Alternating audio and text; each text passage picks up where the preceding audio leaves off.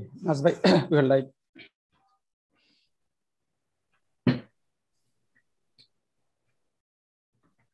Bismillahir Rahmanir Rahim. Assalamu alaikum.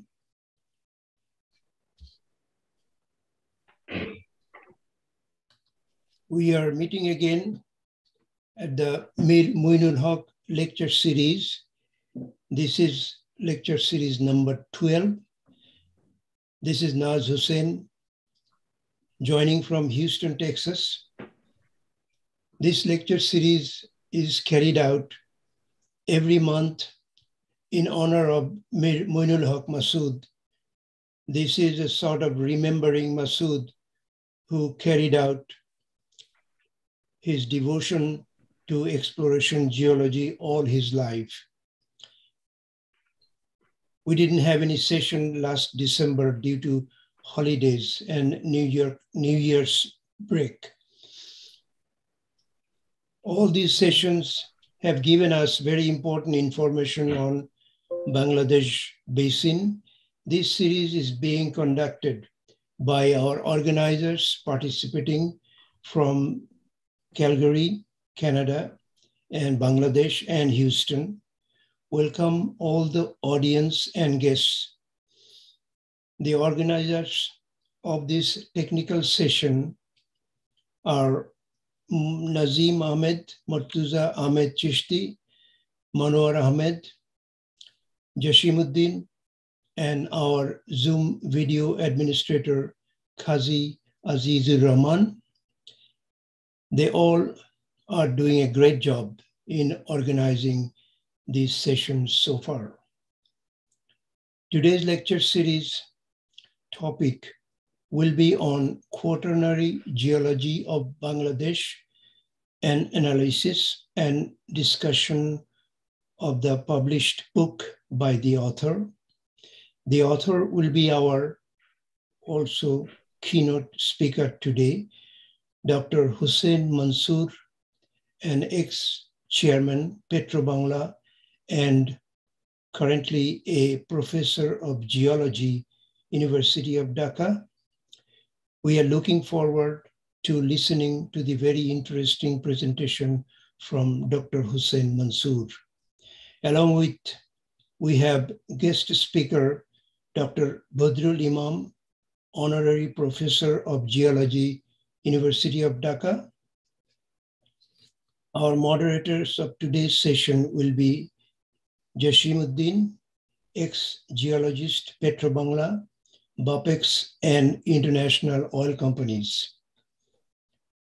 Once again, thank you all for joining session today.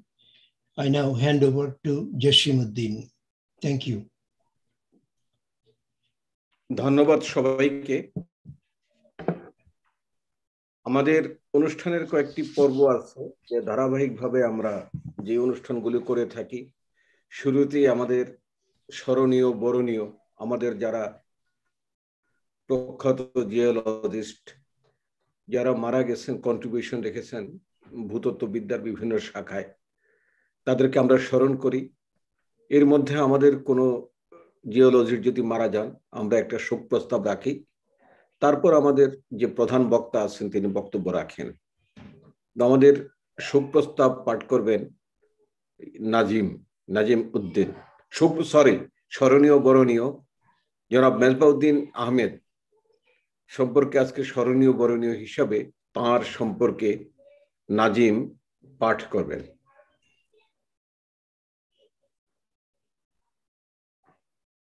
আজি স্লাইডটা দিয়ে দেন।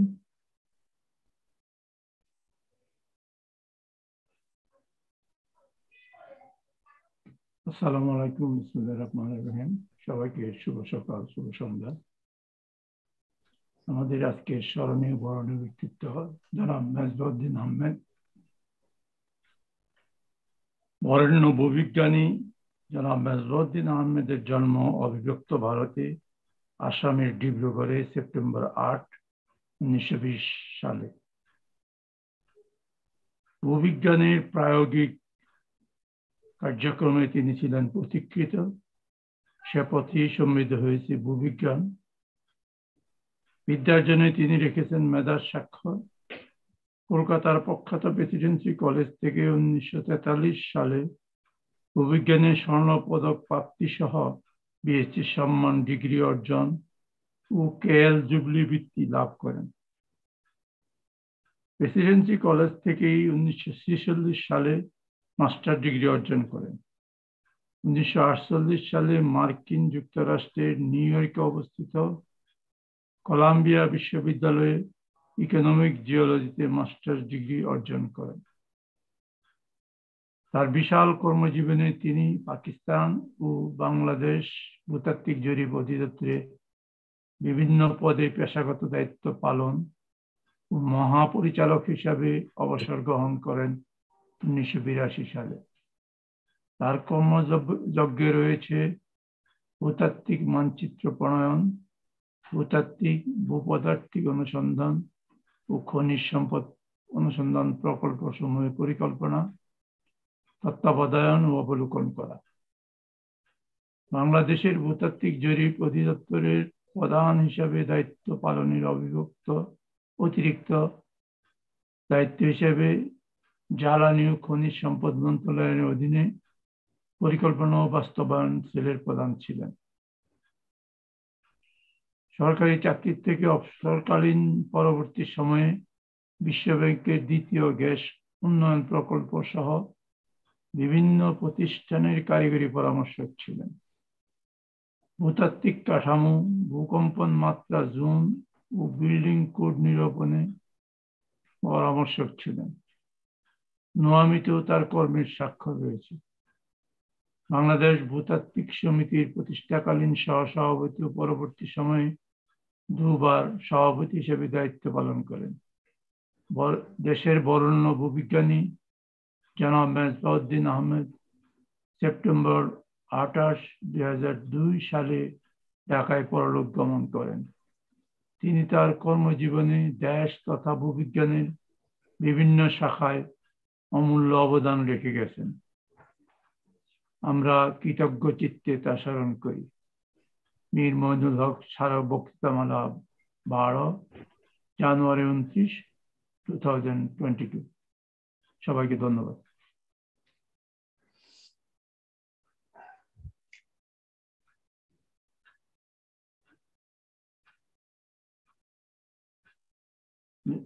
Jasim unmute করো।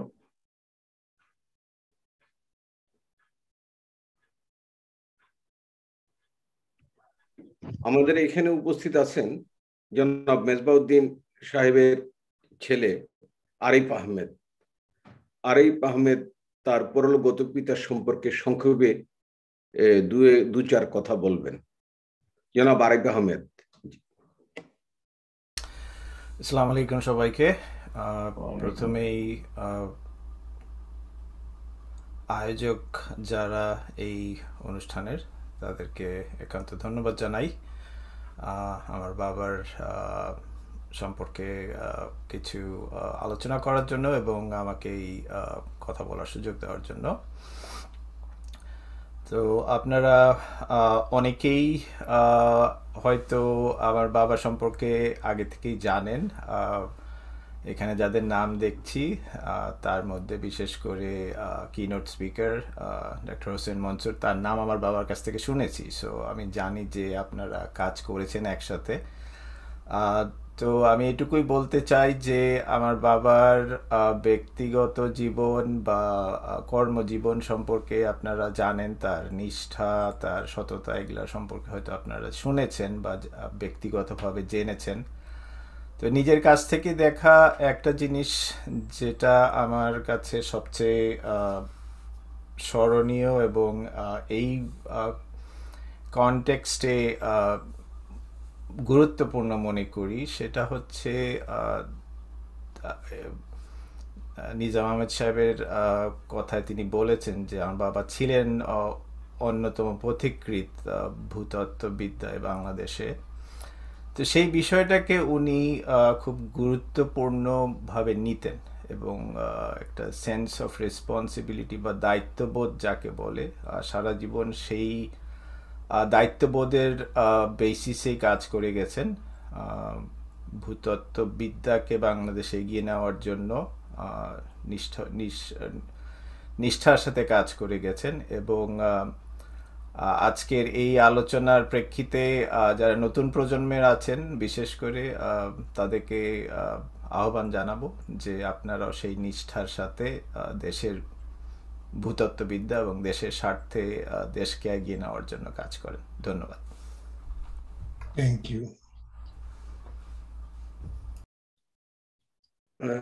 আমি ইয়ে জনাব নাথ স্যারকে আহ্বান করছি জনাব সাহেবকে আমন্ত্রণ করার জন্য এবং কিছু সংক্ষেপে ওনার একটু পরিচিতি, সেটা হয়তো আমরা দেব কিছু বলার জন্য আজকের বিষয়াবলী সম্পর্কে প্লিজ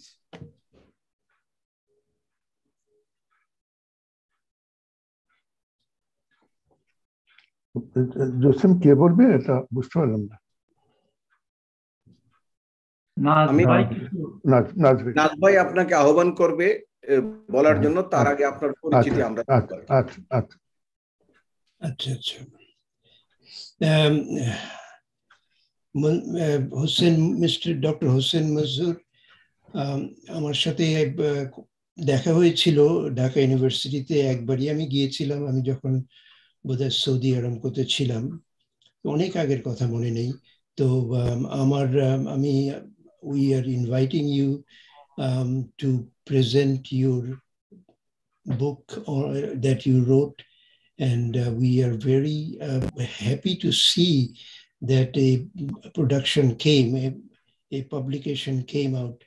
আমার মনে আছে যে আমি যখন ঢাকা ইউনিভার্সিটিতে জিওলজি ডিপার্টমেন্টে ছিলাম under doctor Latif Latif sir আমাকে বলেছিলেন যে না আমরা চলো চলো সবাই মিলে প্যালেন্টোলজির উপরে একটা বই লিখি, বাংলাতে। তো আমি কাজ শুরু করে দিয়েছিলাম বেশ কিছুটা। তারপরে তো আমি আবার জিওলজি ডিপার্টমেন্ট থেকে ক্যানাডিয়ান সুপিরিয়ারে চলে গেলাম চট করে। তো ওটা আর হয়নি আর কি।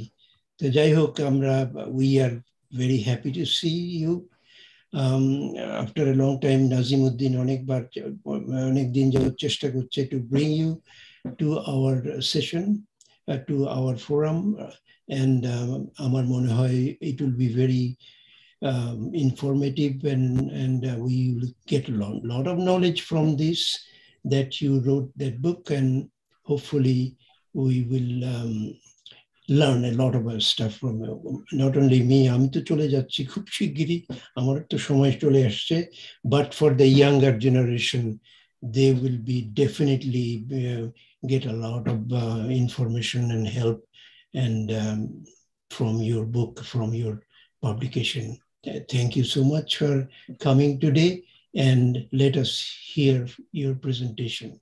Thank you. ধন্যবাদ জনাব ধন্যবাদ জনাব নাজ হোসেন আমাদের প্রধান বক্তা মূল কিনোট স্পিকার তিনি তার বক্তব্য আপনাদের মধ্যে আপনাদের কাছে খুব অল্প সময়ের মধ্যেই পেশ করবেন। তো আপনারা, আমার মনে হয় সকলেই জানেন যে প্রফেসর ডক্টর মোহাম্মদ হোসেন মসুর সম্পর্কে ওনার কীর্তি সম্পর্কে। উনি যেমন মেধাবী ছিলেন, মেধার পরিচয় রেখেছেন শিক্ষা জীবনে, তিনি দশম স্থান অধিকার করেছিলেন ইন্টারমিডিয়েট পরীক্ষায়। তারপর সর্বপরীক্ষায় উনি কৃতিত্বের স্বাক্ষর রেখেছেন এবং প্রথম শ্রেণি উনি লাভ করেন। উনি সর্বশেষে সেই ব্রাসেলস থেকে এমএস নিয়েছেন আবার আবার ইয়ে ডিএসসিও করেছেন। তো পোস্ট ইয়েতে পোস্ট ডক্টরেট করেছেন কিংস্টন ইউনিভার্সিটি লন্ডন থেকে। ওনার বিভিন্ন ব্যাপারে স্পেশালাইজেশন ছিল, মূল স্পেশালাইজেশন ছিল prospecting of mineral and Quaternary environmental. বর্তমানে উনি sea level change special reference to the Holocene and sea level changes of the Bay of Bengal shoreline geology geomorphology estuaries estuaries and Quaternary environment আসলে বাংলাদেশের বর্তমান প্রেক্ষিতে বা বিশ্ব যে আপনার তাপমাত্রা বৃদ্ধি পাচ্ছে সি লেভেল ইয়ে সি লেভেল বাড়তেছে এবং আমাদের দক্ষিণাঞ্চলের অবস্থা কি হবে সেটা আমরা উদ্বিগ্ন, সবাই উদ্বিগ্ন। আমাদের যে এই ব্যাপারে, এর পূর্বেই আমাদের ইয়ে জনাব মনসুর ভাই উনি কাজ করেছেন। উনি এছাড়াও ওনার অনেকগুলি পাবলিকেশন রয়েছে। যেমন, আমার মনে হয় পাবলিকেশন আছে আঠাশটা পাবলিকেশন তারও পাবলিশড বুক হলো দুটো। অনেক অ্যাবস্ট্রাক্ট করেছেন, কিন্তু হয়তো সেগুলো পাবলিকেশন হবে। সাতটা abstract number of reports four number of thesis supervision, six.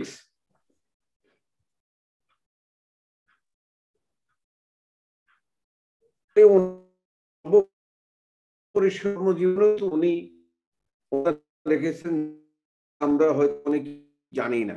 তাই তারপর উনি যে বই লিখেছেন, এই বই সম্পর্কে অলরেডি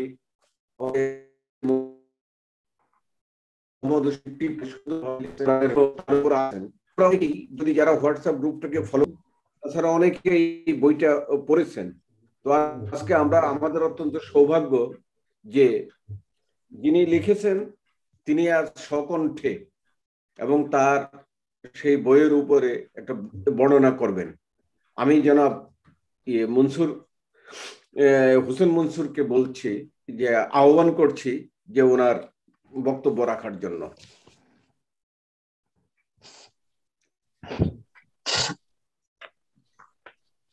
এখন আমি কীভাবে যাব? শেয়ার তাই তো? শেয়ার স্ক্রিন জি স্যার। তারপরে হলো শেয়ার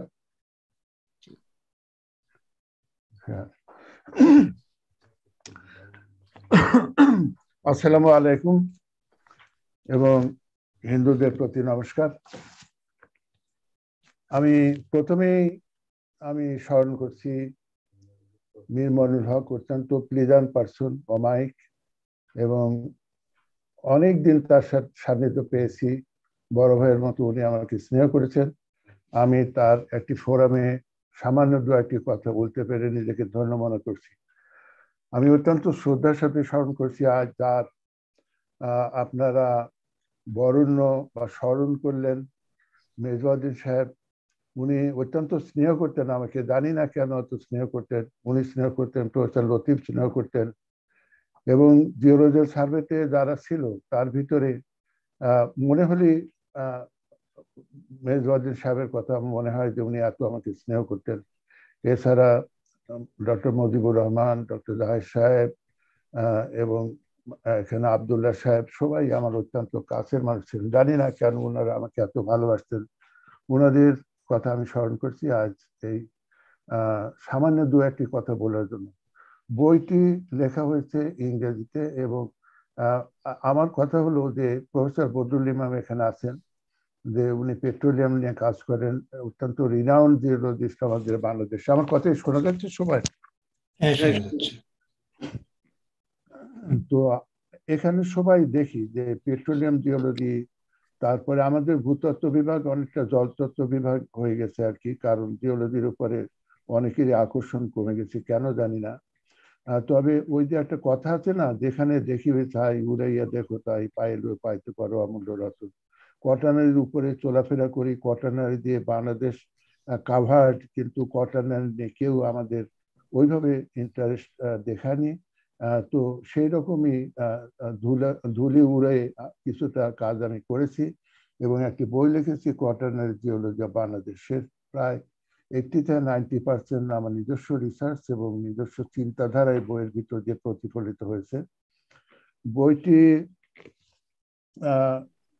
বইটি আরে চলে না যে? হ্যাঁ এই বইটির হলো যে প্রথম কথা যে কোয়াটারনারি আমাদের জিওলজিদের ভিতরে একটু আইডিয়া সৃষ্টি করার জন্য এবং কোয়াটারনারি সম্বন্ধে জানার জন্য আমাদের বিশ্ববিদ্যালয় এবং অন্যান্য যে সমস্ত বিশ্ববিদ্যালয়ের ছাত্ররা পড়ে, তাদের যেন ইন্টারেস্ট গ্রো করে কোয়াটারনারির উপরে কিছু রিসার্চ করে, গবেষণা করার এবং কোয়াটারনারিকে জানার আগ্রহ সৃষ্টি করার জন্য একজন শিক্ষক হিসেবে এটা আমি দায়িত্ব পালন করেছি।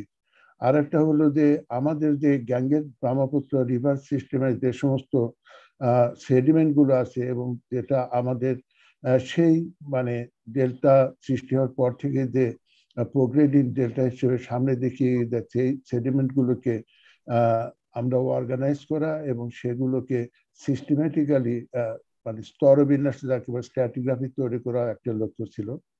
আর একটা হলো যে যে সমস্ত বিষয়গুলো আমাদের পটানাতে অন্তর্ভুক্ত হবে, সেই সমস্ত বিষয়গুলো এই বইয়ে অন্তর্ভুক্ত আছে। তার ভিতরে জিওলজি আছে, প্যালিনোলজি আছে, পোরামিনিফের আছে palaeomagnetic borehole data radio carbon dating বিভিন্ন বিষয় নিয়ে হোল একটা ব্রড পার্সপেক্টিভে পার্সপেক্টিভ নিয়ে বইটা প্রতিফলন ঘটানো হয়েছে আর কি। কি ব্যাপার? একটা আসে না। এই বইয়ে আছে হলো ষোলোটা চ্যাপ্টার এবং কীভাবে ষোলোটা চ্যাপ্টার আমি পরে সেগুলো বলছি। এরপরে আছে সাজেস্টেড রিডিং, গ্লোসারিজ আছে অ্যাপেন্ডাইসিস আছে পরিপূর্ণভাবে এবং অ্যাব্রিভেশন আছে যে সমস্ত সংক্ষিপ্ত আকারে আমরা বইয়ে ব্যবহার করছি সেগুলো সম্বন্ধে বর্ণনা দেওয়া আছে। আর এই বইটি মানে চাইল্ড কালারের প্রিন্টিং কালার ফটোগ্রাফস আছে এখানে। ম্যাপস তৈরি করা হয়েছে ইলাস্ট্রেটার ব্যবহার করে এবং ম্যাপটি তৈরি করছে কার্টোগ্রাফার এখন আমাদের কাছেই উনি আমার ডান পাশেই বসে আছেন। খন্দকার আলিউল্লাহ আজম, উনি এটা অত্যন্ত সূক্ষ্মভাবে প্রত্যেকটা প্রত্যেকটা ম্যাপ ফটোগ্রাফ সব কিছুই নতুন করে আবার রিজেনারেট করা হয়েছে। এবং আর এখানে ব্যবহার করছে সবচেয়ে ভালো যে পেপারটি, সেটা ইন্ডোনেশিয়ান পেপার ব্যবহার করেছে। বইটি এখানে প্রচ্ছদ তৈরি করেছেন ডক্টর ধীমান রঞ্জন মন্ডল উনি এমআইটিতে একটা রিসার্চ সায়েন্টিস্ট উনি আমার ছাত্র এবং ওখানে চন্দ্রের যে সাইসমোগ্রাফ আছে, সে সমস্ত ডাটাগুলো পৃথিবীতে যে আসে সেগুলো অ্যানালাইসিস করেন উনি। এবং নাসা সকল কাজের সাথে উনি সম্পৃক্ত। বন্ধ করতে বন্ধ করে দেন বইটি রিভিউ করেছেন আপনাদের এখানে যিনি প্রধান আলোচক আছেন, প্রফেসর বদরুল ইমাম, উনি রিভিউ করেছেন। রিভিউ করেছেন ডক্টর আনোয়ার হোসেন ভুইয়া, রিভিউ করেছেন মাহফুজুর রহমান, আমাদের ডিপার্টমেন্টের প্রফেসর আমেরিকাতে পিএইচডি করেছেন এবং ডক্টর আজিজুল হক উনিও বইটি রিভিউ করেছেন। সিরিজ অফ রিভিউয়ার্স বই আছে, বইয়ের ভিতরে সেটা আছে। আশা করি যে এটা সাধারণ মানে আমাদের যে ছাত্র, লক্ষ্য আমাদের ছাত্র, ছাত্রদের কাছে বইটি পৌঁছে দেওয়া। কারণ যে সমস্ত লেকচারগুলো আমরা দেই, এই সমস্ত লেকচারগুলো যেন তারা একটি বইয়ের মাধ্যমে পায়, সেই লক্ষ্য নিয়ে বইটি তৈরি করা হয়েছে। এখানে কোয়ার্টারনি জিওলজিতে প্রথমে যেটা চ্যাপ্টার ওয়ানে আমরা যেটা আলোচনা করেছি সেটা হলো যে জেনারেল ফিচার্সগুলো কোয়ার্টারনের যে সমস্ত ফিচার্সগুলো এখানে আছে। আমরা প্রথমেই আমরা যখন কোয়ার্টারনারি ডিপার্টমেন্টে আমরা যখন ভর্তি হই তখন এই জেনারেল ফিচার্সগুলো পড়ানো হয়। এবং আপনারা জানেন যে কোয়াটানারিতে বা জিওলজি নিয়ে বিশেষ করে এই কোয়াটানারি কনসেপ্ট ডেভেলপ করার জন্য ইউরোপিয়ানরাই এগিয়ে। যার ফলে ইউরোপিয়ান যে সমস্ত জিওলজি ভূতত্ত্ববিদ ক্লাইমেটোলজিস্ট যারা ছিলেন তারা starting for পেরাউদ্দিন and et cetera Milankovitch Penck and Bruckner Schwann এবং তারা যে গ্লেশিয়ার এবং ইন্টারগ্লেশিয়ারের যে কনসেপ্ট এখানে এনেছিলেন যে কোয়াটানারি এমন একটি পিরিয়ড যে পিরিয়ড টাসের থেকে আলাদা। যদি আমি এটা মনে করি না, কারণ কটন আমি ব্যক্তিগত ভাবে মনে করি যে there should not be any reason to subdivide the cotton from the Tertiary আবার যে উনারা পৃথিবীতে যখন ঠান্ডা হয়ে যায় এবং এই ঠান্ডা হওয়ার সময়টাকে উনারা বলছেন যে এটা হলো যে কটনারি পিরিয়ড ঠান্ডা হয়তো লাগতে পারে, যেমন ক্যালগেরিতে আছেন, আপনাদের ঠান্ডা লাগে, কিন্তু আমরা তো ঠান্ডা অনুভব করি না। আপনাদের এলাকা বরফে ঢেকে যায়, আমাদের এলাকা তো বরফে থাকে না। কারণ কোয়াটানারি একটা পিরিয়ড তৈরি করতে হলে দেয়ার শুড বি সাম মানে ইউনিভোকাল ইউনিভার্সাল ইভেন্টস যেমন টেকটনিক ইভেন্টস আদার ইভেন্টস এবং there should be some traditional basis should be some traditional fossil record কিন্তু এখানে ওইভাবে সেটা নাই।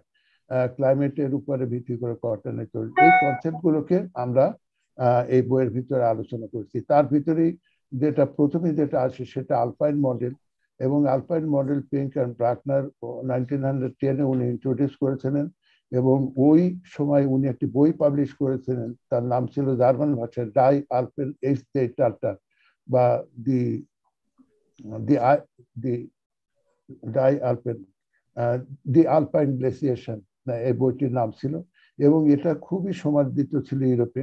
তারপরে এটা আবার এটা ভাগ করলেন হলো মানে পিঙ্ক অ্যান্ড ব্রাকনার যে যে এই শুধু কটন শুধু একটা পেলেন যেটা ডেসনার বলেছিলেন নাইনটিন হান্ড্রেড টোয়েন্টি নাইনে এবং ইন্ট্রোডিউস করেছিলেন Charles Lyell eighteen hundred thirty নাইনে উনি প্লাস্টোসিয়ান ইন্ট্রোডিউস করেছিলেন। যা হোক cotton is not a single event but there are some subdivision এবং অল দি সাবডিভিশনস আর মানে based on the climatic fluctuation hot এবং কোল্ড মানে long time hot long time cold কিন্তু হট এবং cold নিয়ে তো এটা তো আর ই করা যায় না। এটা তো আর ওইভাবে একটা জিওলজিক্যাল পিরিয়ডকে তো আলাদা করা যায় না। কারণ there are some evidences of glaciations in Precambrian time and also Carboniferous time Permian time সুতরাং হয় cotton be separated from the other uh, glacial period that has happened long time before যা হোক এখানে এখানে আরও আলোচনা করেছে প্লাস প্লাস্টোসিন বাউন্ডারি নিয়ে। প্লাস প্লাস্টোসিন বাউন্ডারিতে যথেষ্ট অ্যাম্বিগুইটি আছে, কারণ এখানে আমাদের, আমি মনে করি যে আমাদের দেশে যদি বলেন যে কখন হলোচেন স্টার্ট হচ্ছে, তাহলে আমি বলব বারো হাজার বছর আগে থেকে। কিন্তু ইউরোপিয়ানরা ওরা দশ হাজার বছর আছে। সুতরাং এই বাউন্ডারি নিয়েও যথেষ্ট ক্রিটিসিজম আছে।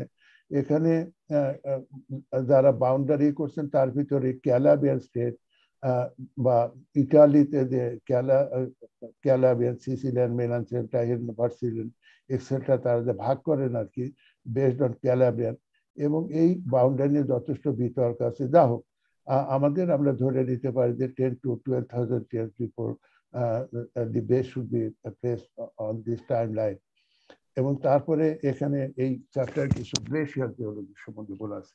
আপনারা যদি দেখেন একটা নিচে একটি গ্রাফ দেওয়া আছে, এটা হলো মিলান কোভিস ক্লাইমেটিক কার্ভ এটা মিলান কোভিস উনি, যুগোস্লাভের সায়েন্টিস্ট উনি সোলার রেডিয়েশন ভেরিয়েশনের উপরে বেস করে এই কার্ভটি তৈরি করেছিলেন এবং দেখা যাচ্ছে যে এখানে অনেক ধরনের যে উপরের উপরের পিকটা যেটা উপরের পিকগুলো হলো হট এবং নিচের পিকগুলো কোল্ড সুতরাং যে কোয়ার্টারেতে অনেক হট এবং কোল্ড পিরিয়ড আছে। দ্বিতীয় চ্যাপ্টারে আছে প্লেট টেকটনিকটা যে জেনারেল জিওলজি যেটা আপনার সবাই জানেন যে যে সমস্ত এখানে মেকানিজম কিছু আলোচনা করা হচ্ছে যে কনসেপ্ট অফ প্লেট টেকটনিক্স যে কনভেকশনাল কারেন্টের মাধ্যমে যে ম্যাগমা থেকে বা ম্যান্টেল থেকে যে কনভেকশনাল কারেন্ট সেটাই উপরে লিথোস্ফিয়ারকে পুশ করে এবং পুশ করার ফলে প্লেটগুলো একের থেকে অন্যদিকে দূরে চলে যায়, আবার কোনো কোনো প্লেট একে অন্যের কাছাকাছি চলে আসে। আর আমাদের গ্যাঙ্গেস ব্রহ্মপুত্র ডেল্টা নিয়ে এখানে আলোচনা করা হয়েছে। এখানে যে আমাদের যে যে লং ট্রাভেল যেটা আর কি journey to journey from Antarctica to Eurasia বা যে আমাদের এই মডেলটা এখানে এখানে দেওয়া আছে, অনেক ধরনের মডেল পাওয়া যায়। আমি একটা এখানে আঁকানো আছে। আর এখানে এখানে আপনারা জানেন যে স্টেকলারের কিছু কাজ আছে অ্যাক্রেশন বেসিনের উপরে এবং উনি অ্যাক্রেশন বেসিনের উপরে উনি বলছেন অ্যাক্রেশন বেসিনে আমাদের এই বইয়ে কিছু কথা বলা আছে, এবং এখানে অ্যাক্রেশন বেসিন কীভাবে তৈরি হয় সেই বিষয়গুলো নিয়ে বিস্তারিত এখানে আলোচনা করেছে। সোয়াস অফ নো গ্রাউন্ড যেটা এখানে আপনারা জানেন যে Swatch of No Ground most important আমাদের এই আমাদের বেতে সুতরাং এখানে বিস্তারিতভাবে আলোচনা হচ্ছে। এটা হলো মোটামুটি জেনারেল পার্ট আর তৃতীয় চ্যাপ্টারে আছে হলো দেয়ার সাম ডেফিনেশনস ডেফিনেশন এবং ডেফিনেশনগুলো আছে বেসড অন দি হেডবার্স যে রিপোর্ট যেটা আর কি যে স্ট্র্যাটিগ্রাফিক কমিশন হেডবার্গের যে সমস্ত ডেফিনেশন এবং ক্লাসিফিকেশন প্রসিডিওর নিয়ে এখানে আলোচনা করা আছে। আর আলোচনা করেছে ফিজিওগ্রাফিক্যাল জিওমর্ফিক ফিচার্স আমাদের দেশে যেগুলো। কারণ আমাদের দেশে যে সমস্ত এই বেঙ্গল ডেল্টার উপরে যে সমস্ত নদীগুলো প্রবাহিত হয় নদীগুলোর উপরে বেশ করেই আমাদের এই কোয়ার্টারটা শুরু হয় আর কি। সুতরাং বলা যেতে পারে বা আমি কোয়াট শিওর যে আমাদের আমাদের দেশের যে কোয়াটানারি যেটা আমাদের কাভার করে আছে, এর বয়স ওই রকম খুব একটা বেশি না। এই একদম মানে লেট প্লাস্টোসিন থেকে হলোসিন কাভার করে আছে আর কি। এবং এই সমস্ত নদীগুলো বিভিন্ন নদী এটা ছোট ছোট মাইক্রো এনভায়রনমেন্ট তৈরি করে, যার ফলে যে এক এক অঞ্চল থেকে আর এক খুব শর্ট ডিস্টেন্সেই এখানে ফেসি চেঞ্জ হয়, এখানে সেডিমেন্টের প্যাটার্ন চেঞ্জ হয়, এখানে কিছুটা ইনভারমেন্টও চেঞ্জ হয়। যদিও ইনভারমেন্ট একটা বিশাল একটা এলাকা জুড়ে থাকে, যে ইনভারমেন্টের ফলে বিভিন্ন ধরনের প্যালেসল তৈরি হয়, কিন্তু মনসুন ক্লাইমেট থাকলেও আমাদের এখানে নদীগুলোর প্রভাব এই সেডিমেন্টেশনের উপরে অনেক বেশি। এখানে কিছু মেজর রিভারের কথা বলা আছে এবং মেজর রিভারের ভিতরে যে সমস্ত রিভারগুলো আমাদের খুব বড় ধরনের যে আমাদের ঐতিহ্যগতভাবে আমাদের সিভিলাইজেশন পর্যন্ত চেঞ্জ করে ফেলছে, তার ভিতরে করতোয়া নদী সম্বন্ধে বলা আছে। করতোয়া, পূর্ণভবা নন্দপূজা বোরাল সব আত্রা এসব নদীগুলো আমাদের নর্থ বেঙ্গলে যথেষ্ট প্রভাব বিস্তার করে। আমাদের এখন শুরু করছে হলো স্ট্যাটিক ল্যাবে চ্যাপ্টার ফোর আপনারা সবাই জানেন যে ফার্গুস ফার্গুসান আঠারোশো তেষট্টি সালে উনি বেঙ্গল ডেল্টার উপরে কাজ করেছিলেন এবং উনি বলেছিলেন যে এখানে যে আমাদের মধুপুর যে ট্রাক এটা একটা আপলিফটেড ব্লক এবং এর এর রেসপন্ডে যে সিলেট যে রেসেন তৈরি হয়েছে ভারসাম্য রক্ষা করার জন্য। এই যে আঠারোশো তেষট্টি সালের যে কনসেপ্ট এই কনসেপ্টটি নিয়ে লুজিয়ানা ইউনিভার্সিটি থেকে মর্গান ম্যাকেলটার উনি আসেন এবং নাইনটিন ফিফটি নাইনে ওনারা এখানে রেকগনেশন সার্ভে করেন। মোট কথা তাদের থিমের ভিতর থেকে ওই ফার্গুসানের যে কনসেপ্ট সেটাই প্রতিফলিত হয় এবং ওনারা তাৎক্ষণিকভাবে তখন তারা ফিল্ডে হেলিকপ্টারও ব্যবহার করতেন। তো যা হোক ওনারা মধুপুর ফরমেশন একটা যে reddish brown deposit those are expose in in Madhupur area as well as in the Barind area এই সবগুলোকে ওনারা অর্গানাইজ করে ওনারা নাম দিয়েছেন মধুপুর ফরমেশন এই মধুপুর ফরমেশন এই এই যে নাম, যেমন পেঙ্ক অ্যান্ড ব্রাকনারের যে ক্লাসিক্যাল মডেল যে ওয়ার্মলিস মিন্ডেল গানস যেভাবে সারা দুনিয়াতে শত বছর ধরে প্রভাব বিস্তার করে আছে, ঠিক এইরকমই আমাদের মোর দেন হাফ এ সেঞ্চুরি আমাদের এই এই যে মধুপুর ফরমেশন যাই হোক, যে আমাদের যা কিছু যে যে মধুপুর, এই, এটা হলো একটা আপলিফটেড ব্লক এই যে একটা কনসেপ্ট এমনকি আমার সাথে আমার সৌভাগ্য হয়েছিল যে আমাদের অত্যন্ত রিনাউন্ড জিওলজি বাংলাদেশের উপরে অনেক কাজ করেছেন এবং হোল লাইফে ওনার অনেকগুলো বই আছে, বাংলাদেশের উপরে আপনার ব্রাহ্মণের নাম জানেন। ওনার সাথে আমার লন্ডনে দেখা হচ্ছে, আমরা রাত্রে অনেক রেস্টুরেন্টে খাওয়া দাওয়া করছি। উনি আমাকে বললেন যে, দেখেন মন্ত্র সাহেব মধুপুর নিয়ে আর কোনো কাজ করে না, কারণ মর্গান ম্যাকেন্টারের পরে আর এই এই ফরমেশনের উপরে কাজ করার কিছু নাই। কিন্তু উনি বললে কি হবে, উনি প্রায় দু বছর মারা গেছেন আর কি। আমার ওনার রুহের মাফ ফেরার কামনা করি। খুব ভদ্রলোক জেন্টলম্যান ছোটখাটো, খুব একটা লম্বা মানুষ না, ব্রিটিশ। তো তো এখানে কাজ করে যথেষ্ট আছে, উনি বলল আমরা এখানে কয়েকটা ছবি এখানে দেখানো হচ্ছে একটা হলো মিরপুরের ফার্ম গেটের আর পুবাইলের এই এই ছবিগুলোর ভেতরে দেখেন মধুপুর ফরমেশন হলো হাইলি অক্সিডাইজ আপনি যদি পৃথিবীর অন্যান্য দেশে দেখেন, তাহলে দেখবেন জাইরে আছে বুরুন্দিতে আছে, গ্রিসে আছে, বেলজিয়ামে আছে, যেটাকে আমরা বলি হলো ক্যাম্পেন ফরমেশন পিকে আর্মি ফরমেশন গ্রিসে আছে। এই ধরনের হোল যে মিডল প্লাস্টোসেনে হোল সারা দুনিয়াতে warm and warm warm and humid climate was prevailing all over the world যার ফলে এই মিডল প্লাস্টোসেন আপনি যদি দেখেন যে লোয়েস্ট প্লাটু বিশাল সেভেন্টি মিটার ঠিক লোয়েস্ট ডিপোজিট চায়নাতে আছে, সেখানেও এইরকম ঠিক ডিপ ডিপোজিট এটাকে, এটা হলো আমাদের মধু ফরমেশন আর যদি নিচে যান, এই যে মাঝখানে যে ফার্ম গেটের ছবি, আনন্দ সিনেমা হলের কাছে, যখন ওরা বিল্ডিং তৈরি করে, অনেক দূর পর্যন্ত বারো, চোদ্দ হাত উঠার মাটি খনন করেছেন। এখানে মধুপুরের উপরে হাইলি অক্সিডাইজ এবং মানে হাইলি মানে ওয়েদার পাউডারি ম্যাটেরিয়াল নিচে যতই যাওয়া যায় তত স্যান্ডের পরিমাণ বাড়তে থাকে। এবং হাইলি মাইকাসিয়াস এবং মাইকার অতি দ্রুত এগুলো ইরোডেট হয়ে যায়। যার ফলে উপরের অংশটা এটা ওয়েদার নাথিং এবং এর ভিতরে যতটুকু মনে হয় যে সবকিছুই একই জিনিস এবং আমরা শুধু ভাগ করছি আপার মিডল এবং লয়ার আপনারা যদি দেখেন পুবাইলের যে সেকশনটা দেখেন এই যে এখানে দেখেন যে মধুপুর ফরমেশন যে আছে, এই মধুপুর ফরমেশনকে কোনো এক কারণে ওই যে দেখেন কালো কালো যেগুলো দেখা যাচ্ছে আর কি, এই যে এখানে দেখেন, এখানে মধু ফরমেশন এটা একটা এটা একটা ভ্যালি তৈরি করছে, ইরোশনের ভ্যালি তৈরি করছে, এটা হলো হলসিন এবং এর বয়স কোনো জায়গাতেই আমি ছয় হাজার বা দশ হাজারের বেশি দেখিনি। অর্থাৎ আমাদের হলসিনের বয়স আমরা স্টেপ বলতে পারি দশ হাজারের বেশি না। এবং এটা আপনারা জানেন, সবাই জানেন যে পৃথিবীতে যত কোস্টাল প্লেন আছে এবং সকল কোস্টাল প্লেনের বয়স দশ হাজারের বেশি না। এই এই বিষয়টা আলোচনা করা হচ্ছে মধুপুর এরিয়াতে। আমরা মধুপুর এরিয়া কয়েকটা ভাগ করছি। যেমন ঢাকা সিটি এবং ঢাকার আশেপাশে, তারপরে নরসিংদী আমরা কাজ করছি। এখানে পূর্বাচলে আমাদের কাজ আছে কিছু পূর্বাচল মডেল টাউনে এখানে কাজে সোনারগাঁতে কাজ করছি। তারপরে অন্য অন্য জায়গায় যে সমস্ত আমরা সবখানেই দেখছি যে মধুপুর ফরমেশনের উপরে আমাদের যথেষ্ট কাজ আছে।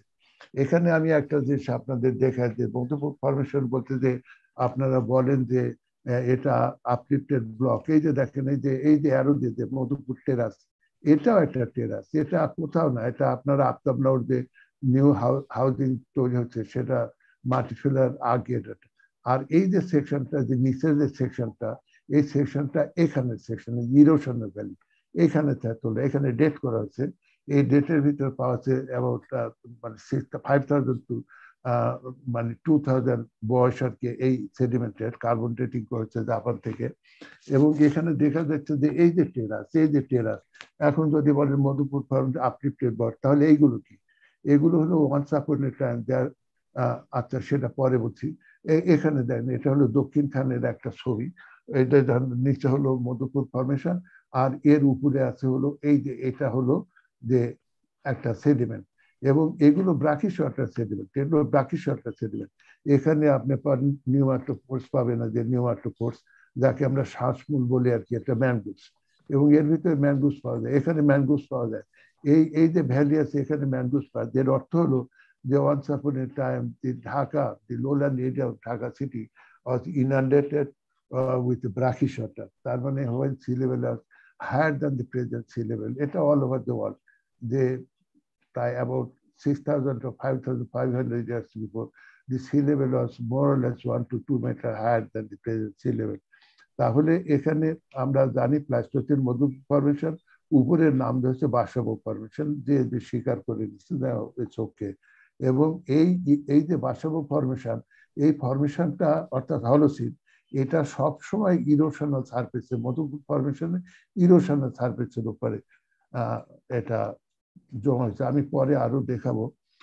এখানে দেখেন এটা হলো মানে এই জায়গাটা হলো, এটা তুরাগ নদীর বাম পাশে। অর্থাৎ এখন যে আপনার যে এরিয়া আছে, যেটা বেরিবাদ দেওয়া আছে, তার পূর্বে। অর্থাৎ যে এটা হলো যে এটা হলো দক্ষিণ খানের ছবি। আপনারা দেখেন যে এটা মধুপুর ফরমেশন মধুপুর। আর এর উপরে এর উপরে আছে হলো হলোসিন ডেট দেওয়া আছে ফাইভ থাউজেন্ড দেখেন, একান্নশো বিশ প্লাস মাইনাস তো এগুলো ডেট করেছে, জাপান থেকে ডেট করা হয়েছে তো এগুলো ডেট তার মানে যে এই এই পাঁচ হাজার বছরের আগে এমন কোনো ঘটনা ঘটছে যে এই রকম ইরোশন হওয়ার পরে এইরকম একটা ইরোশন ভ্যালি তৈরি হয়েছে এবং তারপরে এরপরে ব্রাকিশতা দিয়ে এগুলো ইনান্ডেট হয়েছে। এর ভিতরে আপনি পাবেন হলো ম্যাংগ্রোভসের পোলেন আমি প্যালিনোলজি স্টাডি করছি। এখানে দেখেন মানে এটা এই যে ফেজ ফেজ তিন, যে উত্তরে যে ফেজ যেটা আছে ফেজ তিন, ওইখানে আমরা মানে যখন গভীর করে, অনেক গভীর এটা তখন আমরা এই মানে স্যাম্পলিং করছি আর কি। এখানে ডেট করেছে সাড়ে চার হাজার বছর থেকে দেখেন, প্রায় এটা সাড়ে চার হাজার বছর থেকে উপর পর্যন্ত ডেট করেছে। অর্থাৎ যে এগুলো সবই বাকি সরকার এবং এখানে যথেষ্ট পিট পাওয়া যায় ম্যাঙ্গোস পাওয়া যায়, রুটস পাওয়া যায় তারপর ব্রাঞ্চেস, ট্রিজ পাওয়া যায়।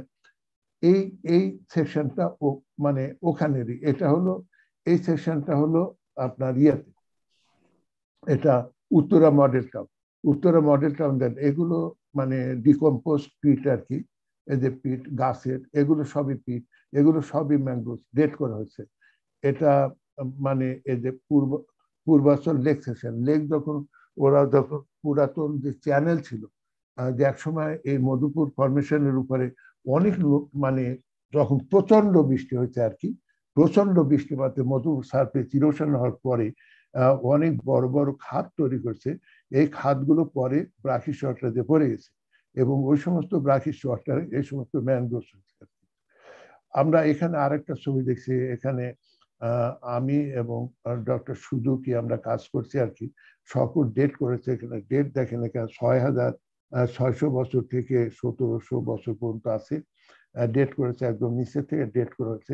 এগুলো সবই ম্যাঙ্গুস এস্টোরাইন এটাকে মানে সুজুকি বলছেন যে এগুলো এস্টোরাইন সেডিমেন্টার কে যে সব ট্রিজ ম্যানগ্রোসের রুটস এখানে অনেক ধরনের পিট এগুলো ফেসিস অ্যানালাইসিস করা হচ্ছে আর কি।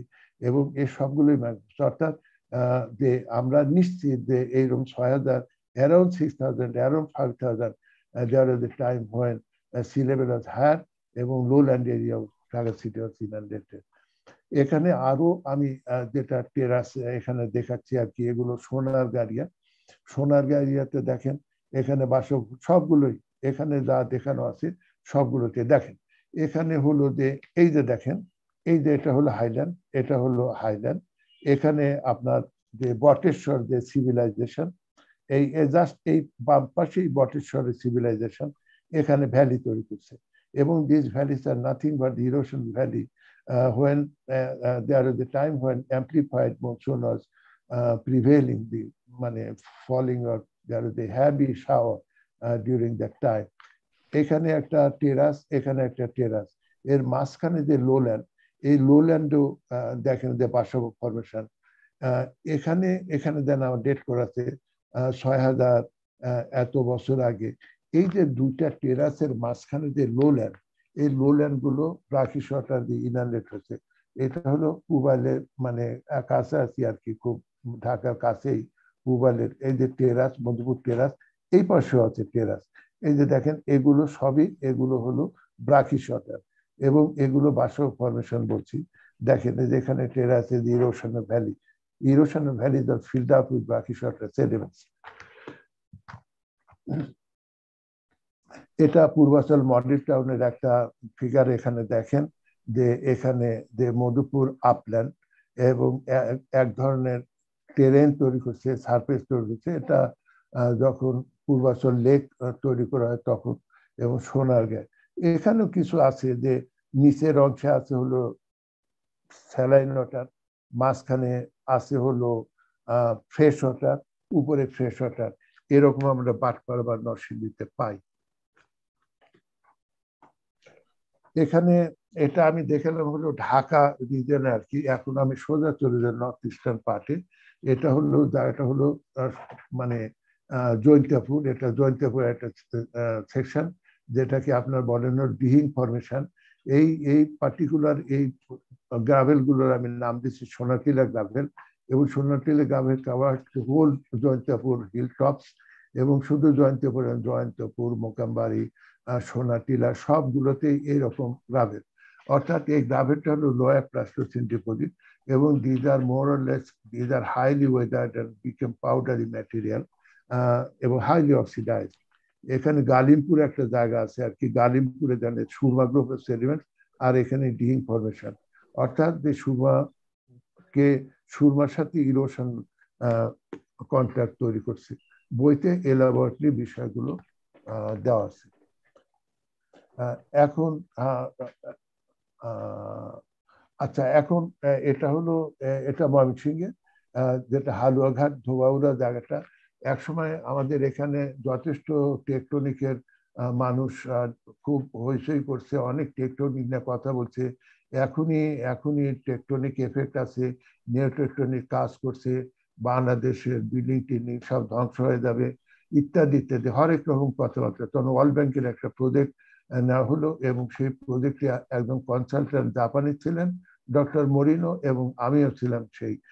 টিমের ভিতরে। আমি একজন কনসালটেন্ট ছিলাম। আমরা এই এলাকায় যে whether there is some evidences of neotectonic effect in Bangladesh or not অনেক জায়গাতে আমরা ফিল্ড আউট করছি ট্রেন্স খনন করছি, বহুত ট্রেন্স করছি আর কি।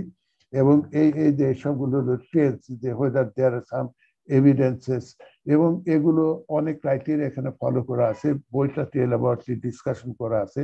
এই টেন্স এই টেন্সগুলো দেখেন, এখানে হলো Indian medium high hills medium hills আমাদের এখানে লো হিলস তো এই সমস্ত এলাকাতে এখানে ট্রেন স্টাডি স্টাডিজ আছে পটানাতে। এগুলোকে আমরা বলছি হালুয়াঘাট ট্রাভেল ব্রেক কিন্তু নেটওয়ার্কের কোনো এভিডেন্স পাওয়া যায়নি। ফেনীতে কাজ করা হচ্ছে মহিষিং কাজ করা হয়েছে, বিভিন্ন জায়গায় কাজ করছে, কোনো ধরনের কোনো টেস্টিং পাওয়া যায়।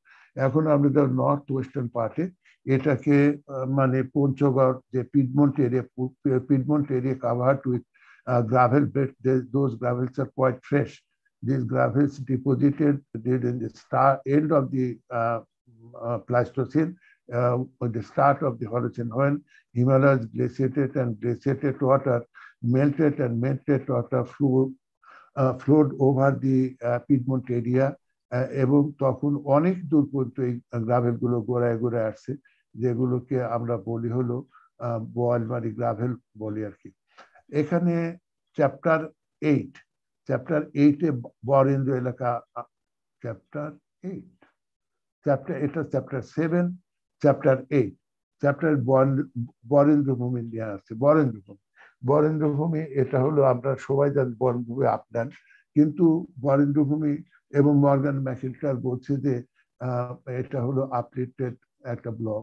কিন্তু আপনারা যদি দেখেন, এই, এইসব জায়গার উচ্চতা কিন্তু, এই, এখানে তো উচ্চতা থার্টি ফাইভ মিটার সি লেভেলটা থার্টি ফাইভ মিটারের মতো। আর আমাদের যে মিরপুরে যে লাল মাটি সেটা কিন্তু সমুদ্রপৃষ্ঠ থেকে মাত্র সাত মিটার উপরে। অর্থাৎ যে এই সমস্ত ডিপোজিটগুলো টেকটনিক কারণে উঠবে কেন?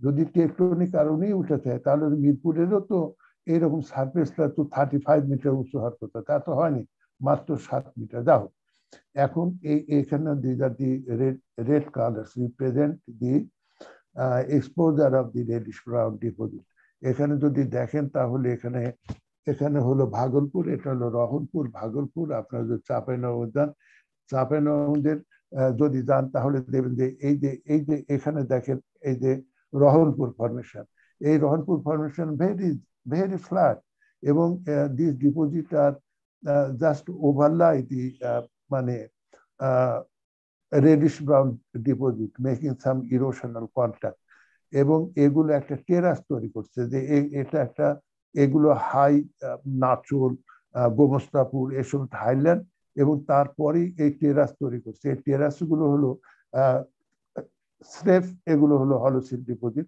তারপরে যদি আরও যদি পূর্ণভাবে নদীর দিকে যান, এটা হলো পূর্ণভাবে নদী, এখানে রিসেন্ট সেডিমেন্টস তাহলে টেরাস ওয়ান, টেরাস টু এবং এটা টেরাস থ্রি।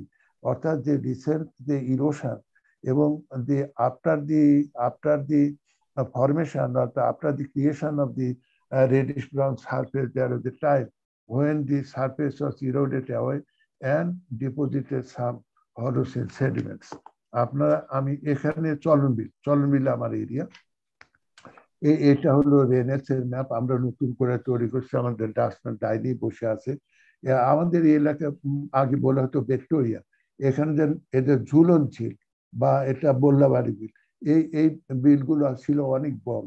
এবং এগুলো এগুলো ইনফ্যাক্ট যে উত্তরের যে প্রচণ্ড বৃষ্টিপাতে উত্তরের পানি এই চলন বিলের উপর যে নদীর মতো প্রবাহিত হয়ে যেত। এবং এই এই রেডিশ ব্রাউন ডিপোজিটকে তারা ইরোশন করে তারা এই চলন বিলটা তৈরি করছে। চলন বিল এটা শুষ্ককালে শুকায় যায়, আবার গ্রীষ্মকালে এগুলো আবার জেগে ওঠে।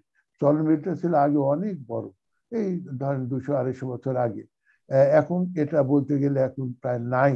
যদি আপনি দেখেন, তাহলে এখানে দেখবেন বস্তুর নামে একটা জায়গা আছে, শেরপুরের কাছে। আর এটা হলো, এটা উত্তর, এটা হলো দক্ষিণ। এই যে চরমির ফরমেশন এদিকে খুব কম। আর একটু গেলেই আপনি লাল মাটি পাবেন। তারপরে দেখবেন ধীরে ধীরে লাল মাটি ইরোশন হয়ে গেছে। অর্থাৎ এই বিলটা ইরোশন এখনও ইরোশন হয় কোনো কোনো জায়গায়। আর দক্ষিণ থেকে পলি পরে এগুলো এগুলো ই হয়। এটা দেখেন দিনাজপুর, রহনপুর শেরপুর, দেখেন এই যে এইখানে থেকে ইরোশন হয়। এই যে এটা লালমাই হিলস। অর্থাৎ এই এলাকাটা লালমাই হিলসের চেয়েও এটা উঁচু। এখন আমি আসব চ্যাপ্টার চ্যাপ্টার নাইন গেল, চ্যাপ্টার টেন। চ্যাপ্টার টেনে এখানে কিছু আমার এখানে নিজস্ব থিম, যে থিমগুলো আমি হোল এই কোয়ার্টারের রিসার্চে পেয়েছি। সেই থিমগুলো এখানে আছে। আপনারা যদি দেখেন তাহলে এই ক্লাইমেটিক কার্ভগুলো দেন, এই ক্লাইমেটিক কার্ভগুলো তৈরি করা হয়েছে হলো অক্সিজেন আইসোটোপের মাধ্যমে। অর্থাৎ যদি আপনার যদি সমুদ্রের পানি যদি এভাপোরেট হয়ে কন্টিনেন্টের উপর এসে বরফ আকারে থাকে, তখন সমুদ্রের পানি ঘন হয়ে যায় এবং যে যে আপনার যে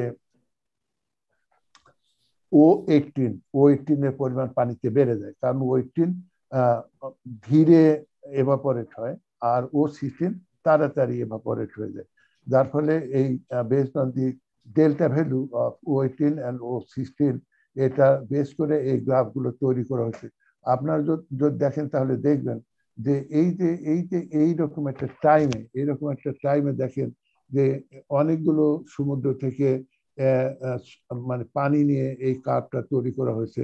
দেখবেন যে ওইরকম পাঁচ হাজার বা দশ after after the end of the Pleistocene এটা ক্লাইমেট চেঞ্জ হয়। এখন আমি ক্লাইমেট চেঞ্জের কিছু কথা বলি, সেটা হলো যে বাইশ হাজার থেকে পনেরো হাজার, আপনারা জানেন যে আঠারো হাজার বছর আগে সবচেয়ে ঠান্ডা ছিল সি লেভেল ছিল প্রায় একশো তিরিশ থেকে একশো চল্লিশ মিটার নিচে। এবং তারপরে দি সেই সময় আমাদের এখানে north east monsoon of prevailing north east monsoon এবং সেটা একটু স্থলভাগ থেকে যার ফলে ওই মনসুনে খুব একটা বৃষ্টিপাত হতো না।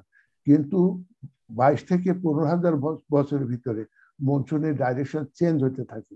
তখন সাউথ ওয়েস্ট মনসুনটা প্রমিনেন্ট হয়ে যায়, এই মনসুনটা একদিকে আসে অ্যারাবিয়ান সি থেকে আর একদিকে আসে হলো ইন্ডিয়ান ওশান থেকে বা বে অফ বেঙ্গল থেকে। অ্যারাবিয়ান সি থেকে যেটা আসে সেটা ওয়েস্টার্ন ঘাটে কেরালা ওইদিকে বৃষ্টিপাত ঘটায়। আর একটা ব্রাঞ্চ যেটা আসে আমাদের এইদিকে সাউথ ওয়েস্ট মনসুন এই এই মনসুনটা প্রচণ্ড বৃষ্টিপাত ঘটাতে থাকে। এবং এই যে আঠারো হাজার পর থেকে যে মনসুন যে বৃষ্টিপাতের মাত্রা বাড়তে বাড়তে, এটা সবচেয়ে পিকে আসে হলো প্রায় দশ হাজার বছর আগে। এবং তখন এটাকে আমি নাম দিয়েছি মিড হলোসিন ক্লাইমেটিক এপিসোড। এবং এর শুধু এখানে না, সারা দুনিয়াতেই। এমনকি আপনি যে মিশরের তিনটা পিরামিড দেখবেন এই তিন, যেটা ওই ওরিয়নের সাথে অ্যালাইন করে তৈরি করা হচ্ছে যে মোস্ট ওল্ডেস্ট পিরামিড সেখানেও ওখানেও সিগন্যালস আসছে যে পানির চুয়ায় কীভাবে ওই গ্রানাইটগুলো ইরোশন হয়ে গেছে। এটাও ওই মিড হলোসিন যে ক্লাইমেটিক এভিডেন্সের পরে হচ্ছে। যাও এখন আমি যেটা বলছি সেটা হলো যে আমাদের এই অ্যাম্পলিফাইড মনসুনে যখন হয়েছে সেটা আমি বলি যে অ্যাবাউট টেন থাউজেন্ড ইয়ার্স থেকে সিক্স থাউজেন্ড ইয়ার্স তখন যেটা হলো যে আমার ধারণা যে এটা হলো যে হোল যে আমরা এখানে হলো মধুপুরে যে এই যে এই যে রংটা অনেকটা কি বলব, এটা কমলা বা ইয়েলোইশ যে একটা রং পুরাটাই হয়তো এটা কিন্তু একটা মডেল এই মডেল অনুযায়ী আপনি যা কিছু এক্সপ্লেন করবে সব মিলে যাবে, দেখেন। যে এই এই যে এটা একটা মডেল এই যে হয়তো একসময় পুরা জায়গাটাই ছিল হলো এই মধুপুর ফরমেশন আপনারা বলছেন যে মধুপুর ফরমেশন হয়তো এটা উঁচু ছিল, কারণ it's very close to the Himalayas R deltaic রিজনে এটা হয়তো আর একটু দূরে ছিল, যার ফলে এটা উচ্চতা বেশি এটা উচ্চতা কম, আপনার গ্রাডিয়েন্টের উপর নির্ভর করে। হোল এরিয়াটা ছিল হলো যে পুরাটাই ছিল হলো এই মজবুর ফরমেশনে ঢাকা। এবং তারপরে শুরু হলো প্রচণ্ড বৃষ্টিপাতে যে amplified south amplified south west monsoon এই সাউথ ওয়েস্ট প্রচণ্ড বৃষ্টিপাত হলো এবং প্রচণ্ড বৃষ্টিপাত হলো কি এর উপর দিয়ে প্রচণ্ড বেগে এখানে প্রবাহিত হতে থাকল। যার ফলে মধুপুর সার্ফেসের উপর দিয়ে অসংখ্য নদী এবং এমনকি ফ্ল্যাট প্লেনের উপর দিয়ে, যেমন চলনমির ফ্ল্যাট প্লেনের উপর দিয়ে পানি যায়, এখনও পানি যায়। আগে তো আমার ছোটবেলায় দেখছি, আগে অনেক বেশি পানি গেছে। এবং আমার ছোটবেলায় আমি যে এলাকায় বিল দেখতে যেখানে পানি যেত, যেখানে নৌকা চলতো বর্ষাকালে, সেগুলোতে এখন বাড়ি ঘরে বড় বড় গাছপালা হয়ে গেছে। প্রায় এক কিলোমিটার পর্যন্ত আমার গ্রামের দিকে এগিয়ে আসছে। আমাদের মৌজাতে। সুতরাং যে এই যে এই প্রচণ্ড বৃষ্টিপাতে মধুপুর ফরমেশনের অনেক এলাকা অনেক এলাকা ইরোশন হয়ে যায়। যেমন এই যে এখানে দেখানো হচ্ছে যে কুলু কুলু করে পানি যাচ্ছে প্রচণ্ড এডিস তৈরি করছে। যেখানে বড় বড় এডিস তৈরি করে সেখানে আমার টাইম আছে তো?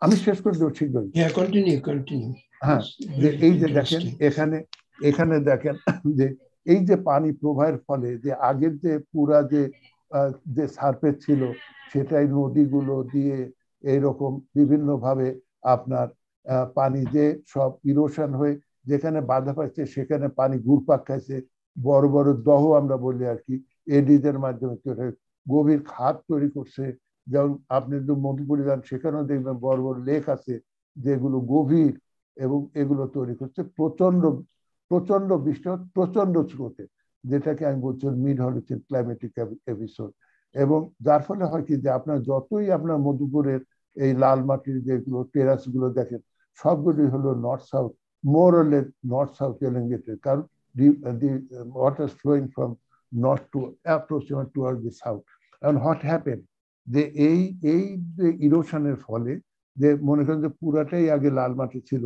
ইরোশনের ফলে কোথাও কোথাও দেখা যাচ্ছে যে এই মধুপুর পরিষদ তিনটা ভাগ করেন আপার মিডিল এবং লোয়ার আর তারপরই হলো ডুপিটিল্লা এখানে দেখেন যে কোনো কোনো জায়গায় আপনি এই মধুপুর ফরমেশন কিছু অংশ ইরোশন হয়, এখানে প্রেজেন্ট ফ্লুভিয়াল ডিপোজিট হয়ে গেছে।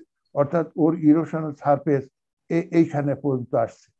আর এখন বৃষ্টিপাত কমে গেছে ফ্লাড হচ্ছে। নতুন ফ্ল্যাট প্লেন তৈরি হচ্ছে। আবার কোনো কোনো জায়গায় দেখবেন যে এই যে এই যে যে ইরোশন এটা মিডল পর্যন্ত চলে গেছে। সেই এলাকায় ওই ইরোশন ওই প্রচণ্ড ক্লাইমেটিক এপিসোডে এগুলো সব ডেট করা আছে কিন্তু, সব সেডিমেন্টে ডেট করা আছে। এই পর্যন্ত চলে আসে অর্থাৎ erosional surface rest up to the middle part of the Madhupur formation আবার কোনো কোনো জায়গায় দেখা যাচ্ছে যে একদম ইরোশনটা একেবারেই চলে গেছে। লোয়ার পার্টি এখানে এই সমস্ত জায়গায় আপনি দেখবেন যে এটা দেখা যায় যে lower part of the Madhupur formation কিন্তু মধুপুর আছে, কিন্তু এই পুরাটাই আবার হলসিন দিয়ে ভরে গেছে। আবার কোনো কোনো জায়গায় একবারই নেই, পুরা ডুবি টিল্লাতে যায়, ঠিক আছে এরকম চলন মিলে পাওয়া যায়। তো এই হলো this is the climatic history of the Holocene time and this this relief and this landscape formed due to the due to the monsoon climatic episode. এটা এটা ওই জিনিসটাই আমি এখানে বলছি আর কি, যে এটা আগেও দেখেছি, যে এই যে টেরাস এই যে ইরোশন ভ্যালি এই যে এই যে টেরাস এই যে টেরাস ইরোশন ভ্যালি এখানে ডেট করা আছে ছয় হাজার দুশো, এগুলো সব ডেট করা আছে, এই যে এই যে টেরাস এই যে, এগুলো সব ডেট করা আছে। এখানে মাইক্রোমরফোজ স্টাডি আমি কিছুটা করছি, এটা করছি হলো নিজের জন্যই করছি। এখানে সয়েল সায়েন্স ছাড়া কেউ বুঝতে পারবে না, কিন্তু বই, বইটাতে হোল প্রসিডিওরটা এখানে দেওয়া আছে।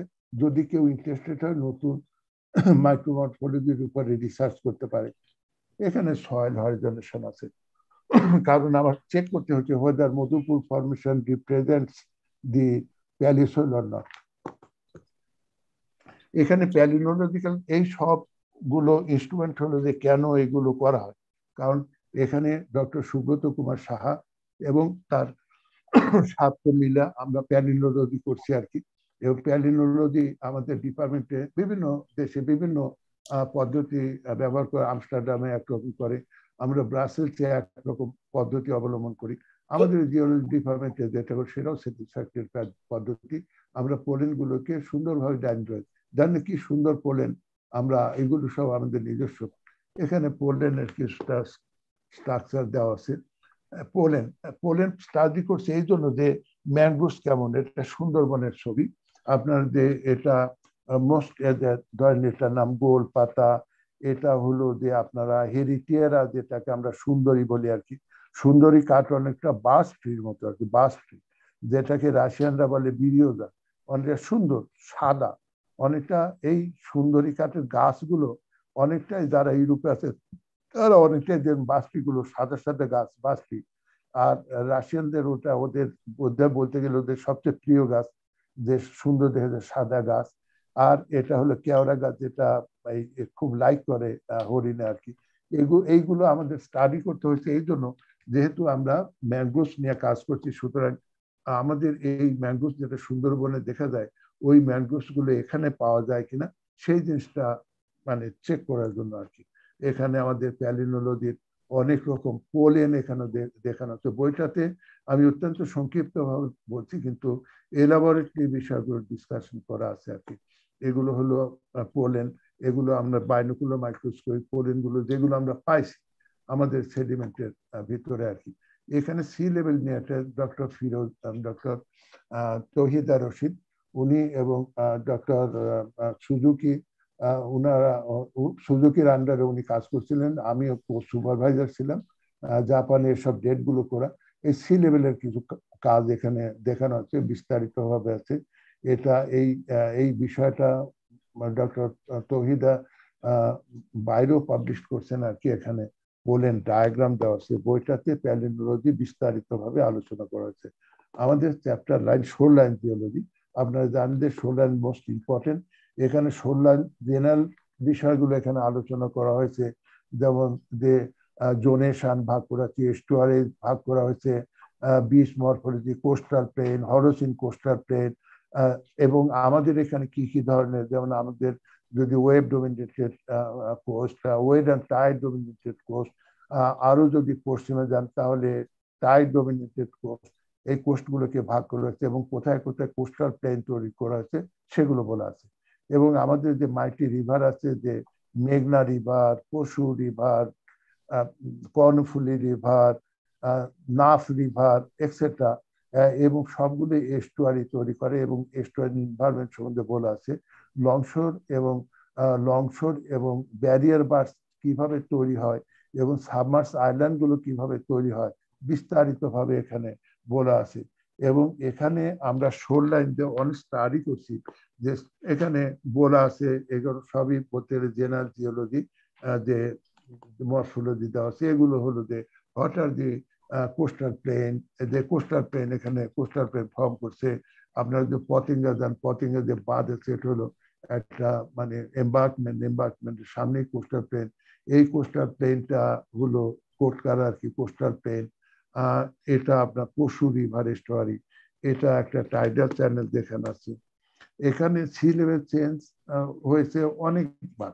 যেমন এখানে আপনার নিয়োজিত সি লেভেল একদম বর্তমান পর্যন্ত এখানে দেখানো আছে আর কি। এখানে ধরেন মানে এটা দেবনিয়ান কার্বন পেয়ারমেন্ট দেখেন, এই আমরা এখন এখানে আছি। অর্থাৎ আগের সি লেভেল কিন্তু অনেক উপরে ছিল। এখন এখানে কিছুটা রিসেন্ট সি লেভেল আছে, আঠারোশো আশি থেকে দুই হাজার পর্যন্ত যে sea level trend is quite high more or less high এটা অক্সিজেন আইসোটোপের cup O Dijk and Shackleton এই কাপটা তৈরি করছেন ওনার মেয়ের সাথে আমার যথেষ্ট পরিচয় ছিল, লন্ডনে থাকতো উনি। ওনার নামের আগে বলতে হয় শ্যাকলেটন যে year the first man who visited Antarctica উনার মেয়ে দি অনারেবল শ্যাকলেটন উনার কার এটা আর কি। ওনার কার ভেরি গুড জেন্টলম্যান আমার প্রায় শেষ হয়ে যাচ্ছে হ্যাঁ এখানে আমরা আমাদের ইঞ্জিনিয়ার যেসব টেকনিক ব্যবহার করছেন, আমাদের বীজ রক্ষার জন্য এই টেকনিকগুলো আমি অনেকগুলো টেকনিক দেখতেছি এবং এফিসিয়েন্টলি দে হ্যাভ ইমপ্লিমেন্টেড আমাদের এই যে এটা হলো মেন মেরিন ড্রাইভ রোড এই যে দেখেন এটা ক্লিফ এবং এটা হলো আমাদের রেজ বীজ বা এটাকে আপনার রেজ বীজ বলতে পারেন বা এটাকে সুপ্রাটাইডাল ফ্ল্যাটও বলতে পারেন। এখানে আমরা বোরিং মানে খাত করে যে সেডিমেন্টগুলো পাইছি, তার বয়স আমরা এখানে দেখাইছি আর কি, দেখেন, প্রায় চার হাজার বছর, প্রায় সাড়ে তিন হাজার বছর এখানে এর উপরে। অর্থাৎ অলওয়েজ ইট ইস লেস দেন মানে প্লাস্টোসিন টাইম আর এই এই এই হোল হোল এই long beach from Cox's Bazar to ধরেন টেকনা পর্যন্ত, এখানে আমরা স্টাডি করে এখানে সি লেভেল দেখে দিচ্ছি অর্থাৎ হিমছড়িতে যেটা যে এখনও ট্রান্সগ্রেসিভ মোডে সি আছে, আর এটা রিগ্রেসিভ মোড এইখানেতে ভাগ, ইনা হিমছড়ি, ইনানি তারপরে শামলাপুর ইত্যাদি, যে বাডেল, টেকনাফ এখানে যে এক সময় সি লেভেলটা ছিল হলো পিছনে, আর এখন সি লেভেল রিট্রিট করে গেছে এবং এই সি লেভেল রিট্রিট করা সাধারণত রিট্রিট করতো না, কারণ our sediments are very soft of sediment the cliffs are not so much consolidated কিন্তু এই যে আমাদের বোকাবিলের ভিতরে যে কংক্রেশনগুলো আছে দিস কংক্রেশন মানে এটা অনেকটা ওয়েব ব্রেকার হিসেবে কাজ করে। যার ফলে এইসব এলাকায় আমরা মানে রিগ্রেসিভ মোডে পাই কিন্তু টিপামের দিকে যেসব টিপাম এবং ডুপিটেলের যেসব ইলকগুলো ওইখানে যেহেতু সফট রক সেডিমেন্ট ওগুলোতে ওই ধরনের বোকাবিল নাই ফলে, যার ফলে এখনও ঢেউ ওখানে আঘাত করছে এবং ওটা ভেঙে যাচ্ছে। এখানে আমরা অনেকগুলো আইল্যান্ড দেখেছি। This island the submerged island particularly Matarbari and Kutubdia island এটা সাবমার্স আইল্যান্ড ডেটিং করছি। বাইশশো বছর আগেও এটা সাবমার্স অবস্থায় ছিল, ডেটিং করাছে আহমেদাবাদ থেকে কার্বন ডেটিং করছে আর কি। এই আইল্যান্ডটা এই ম্যাপটা আমি তৈরি করছি আর কি, এটা জিওলজিক্যাল ম্যাপ তৈরি করছি আর কি, এটা মহেশখালী যেটা আমাদের নিজের তৈরি করা ড্রাফটসম্যান এখানে বসে আছে। এখানে দুই ধরনের, এটা আমাদের once upon a time about five thousand five hundred years before coast line was here অর্থাৎ যে এই মহেশখালী আইল্যান্ডের, আপনি পূবের দিকে পাবেন হলো হিলক আর পশ্চিম দিকে পাবেন হলো ফ্ল্যাটল্যান্ড যেটা সুপ্রাটাইডাল ফ্ল্যাট এবং this supratidal flat once upon time it was submerged with saline water just oceanic free মানে oceanic waves just those are hitting the feet of the hillocks. যার ফলে এই পর্যন্ত ইরোশনে চলে গেছে এদিকে, আর এই পর্যন্ত এখনও they are still retaining the original morphology of the hillocks of Maheshkhali island এটা আমাদের সেন্ট মার্টিনস আইল্যান্ড আপনারা জানেন যে সেন্ট মার্টিনস আইল্যান্ডের নাথিং এটা হলো একটা অ্যান্টিক্লাইন এবং এটা এটা মানে এর বেজ আরও যদি যান তাহলে আরও পূর্বে পাবেন যে এটা দেখেন এখানে কিছুটা দেওয়া আছে যে ইস্টার ডিপিং ইস্টার ডিপিং যে ক্লিফগুলো এবং এই সলিড ক্লিফগুলো ভেঙ্গে এর উপরে পড়ছে সেন্ট মার্টিনসের যে সারফেস এর উপরে। এটা একটা মডেল দিয়ে দেখানো আছে, এটা আমি দেখাচ্ছি। বইতে পুরা evolution of saint Martin's island পাবেন আমি সেন্ট মার্টিনস আইল্যান্ডের কিছু এখানে ছবি দেখাচ্ছি আর কি। যেটা হলো, এটা হলো মানে কোরাল কলোনি। আপনারা যদি দেখেন, এটা হলো সেরা সেরা দ্বীপ বা সেরা দিয়া বলে।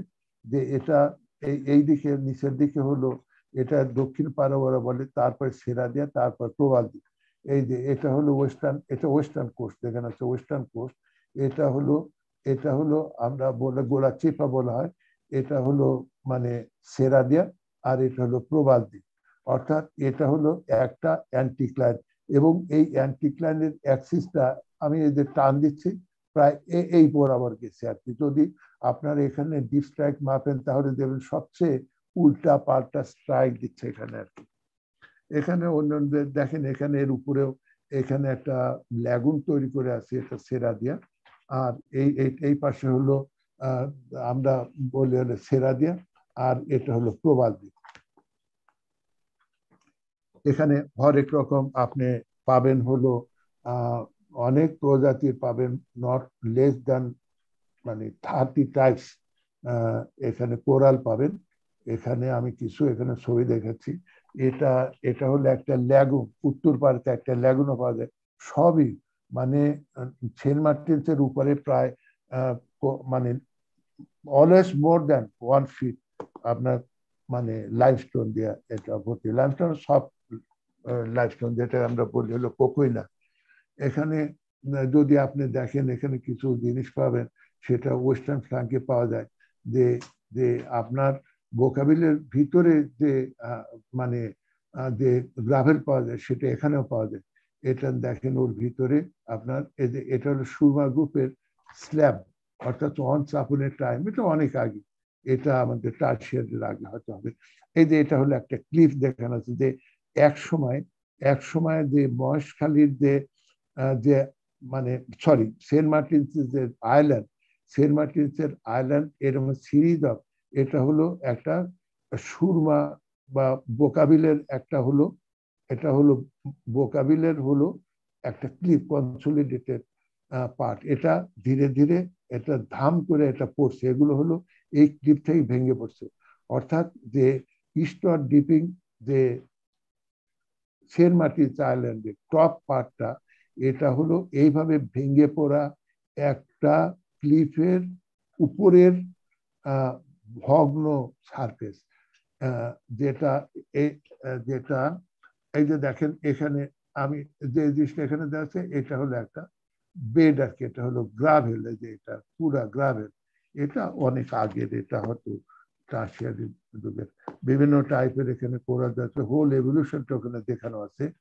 এখানে দেখেন যে যদি আপনি মানে ড্রিলিং করেন, তাহলে ওয়েল করেন ওয়েল করার সময় আমরা গেছি, এখানে ওল্ড কোরাল এখানে কোরালাইন লাইমস্টোন যেটাকে আমরা বলি হলো কোকুইনা, এগুলোকে কোকুইনা বলে সব লাইমস্টোন এটা কোরালাইন লাইমস্টোন সব lime more or less this consolidated আর সব লাইমস্টোন যেটাকে আমরা বলি হলো কোকুইনা।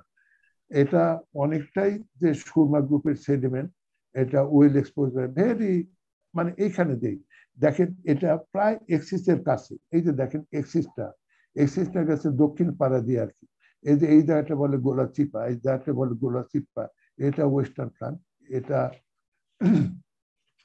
ইস্ট এখন এক্সিসটা গেছে এইখানে দিয়ে গেছে, অর্থাৎ একদম অনেকটা টাচ করে গেছে আর কি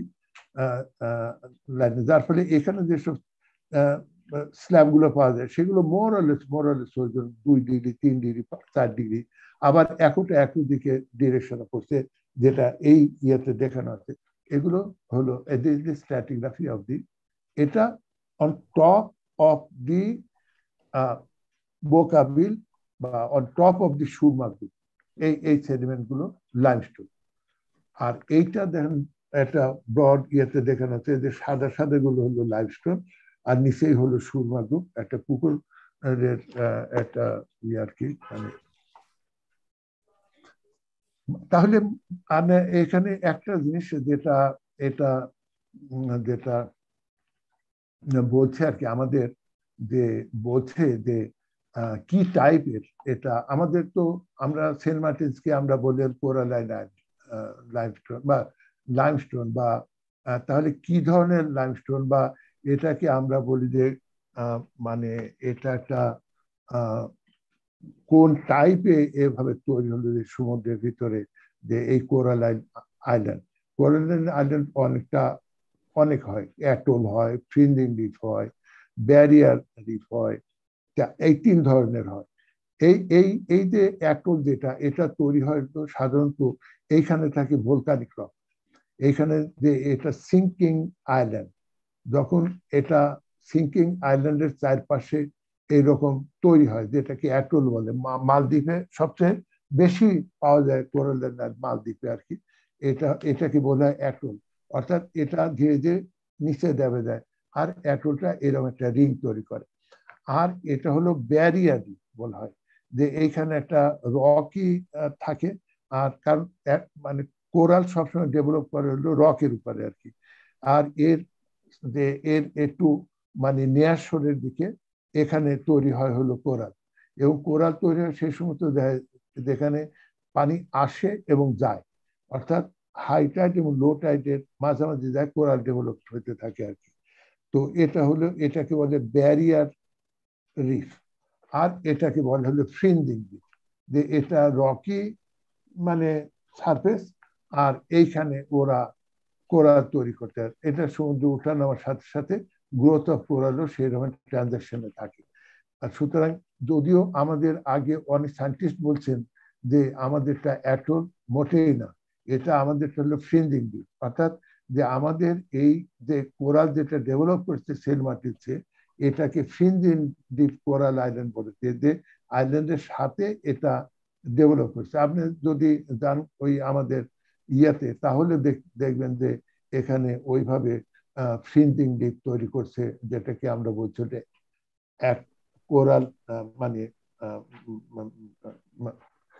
মানে কোরাল কলোনি যেটা আমরা বলছি আর কি।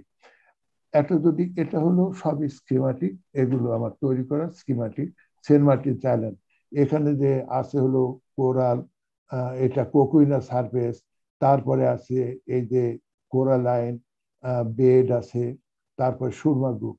আর এখানে নতুন নতুন এই যে সবুজ, নতুন নতুন কোরাল ডেভেলপ করছে। আর এগুলো হলো কোল্ডার, এটা সি সি তো এই হলো আমাদের।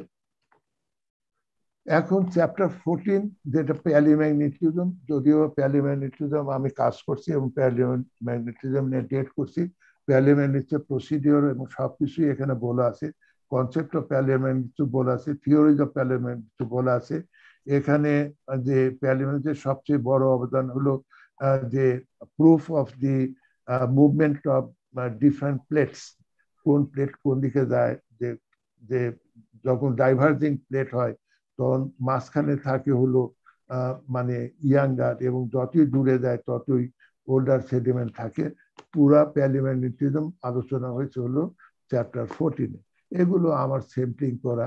এই স্যাম্পলগুলো ক্যাম্পেইন দিয়ে জন্য স্ক্যাল ডেভেলি ডাইন লিভারের দিকে আমরা সেই সময় থিওডোলাইট ব্যবহার করে প্লাস্টিক টিউব ব্যবহার করছি এবং সেটা কম্পিউটার মাধ্যমে প্রসেস করে সেটা অ্যানালাইজ করা হচ্ছে।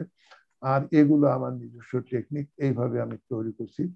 প্লাস্টার অফ প্যারিস দেওয়া মানে আনডিস্টার্ব সেডিমেন্ট কালেক্ট করছি। নর্থ সাউথকে আমরা কম্পাস দিয়ে ইন্ডিকেশন করছি অন টপ সারফেস তারপরে বিভিন্নভাবে এগুলো আমরা মাপছি আর কি।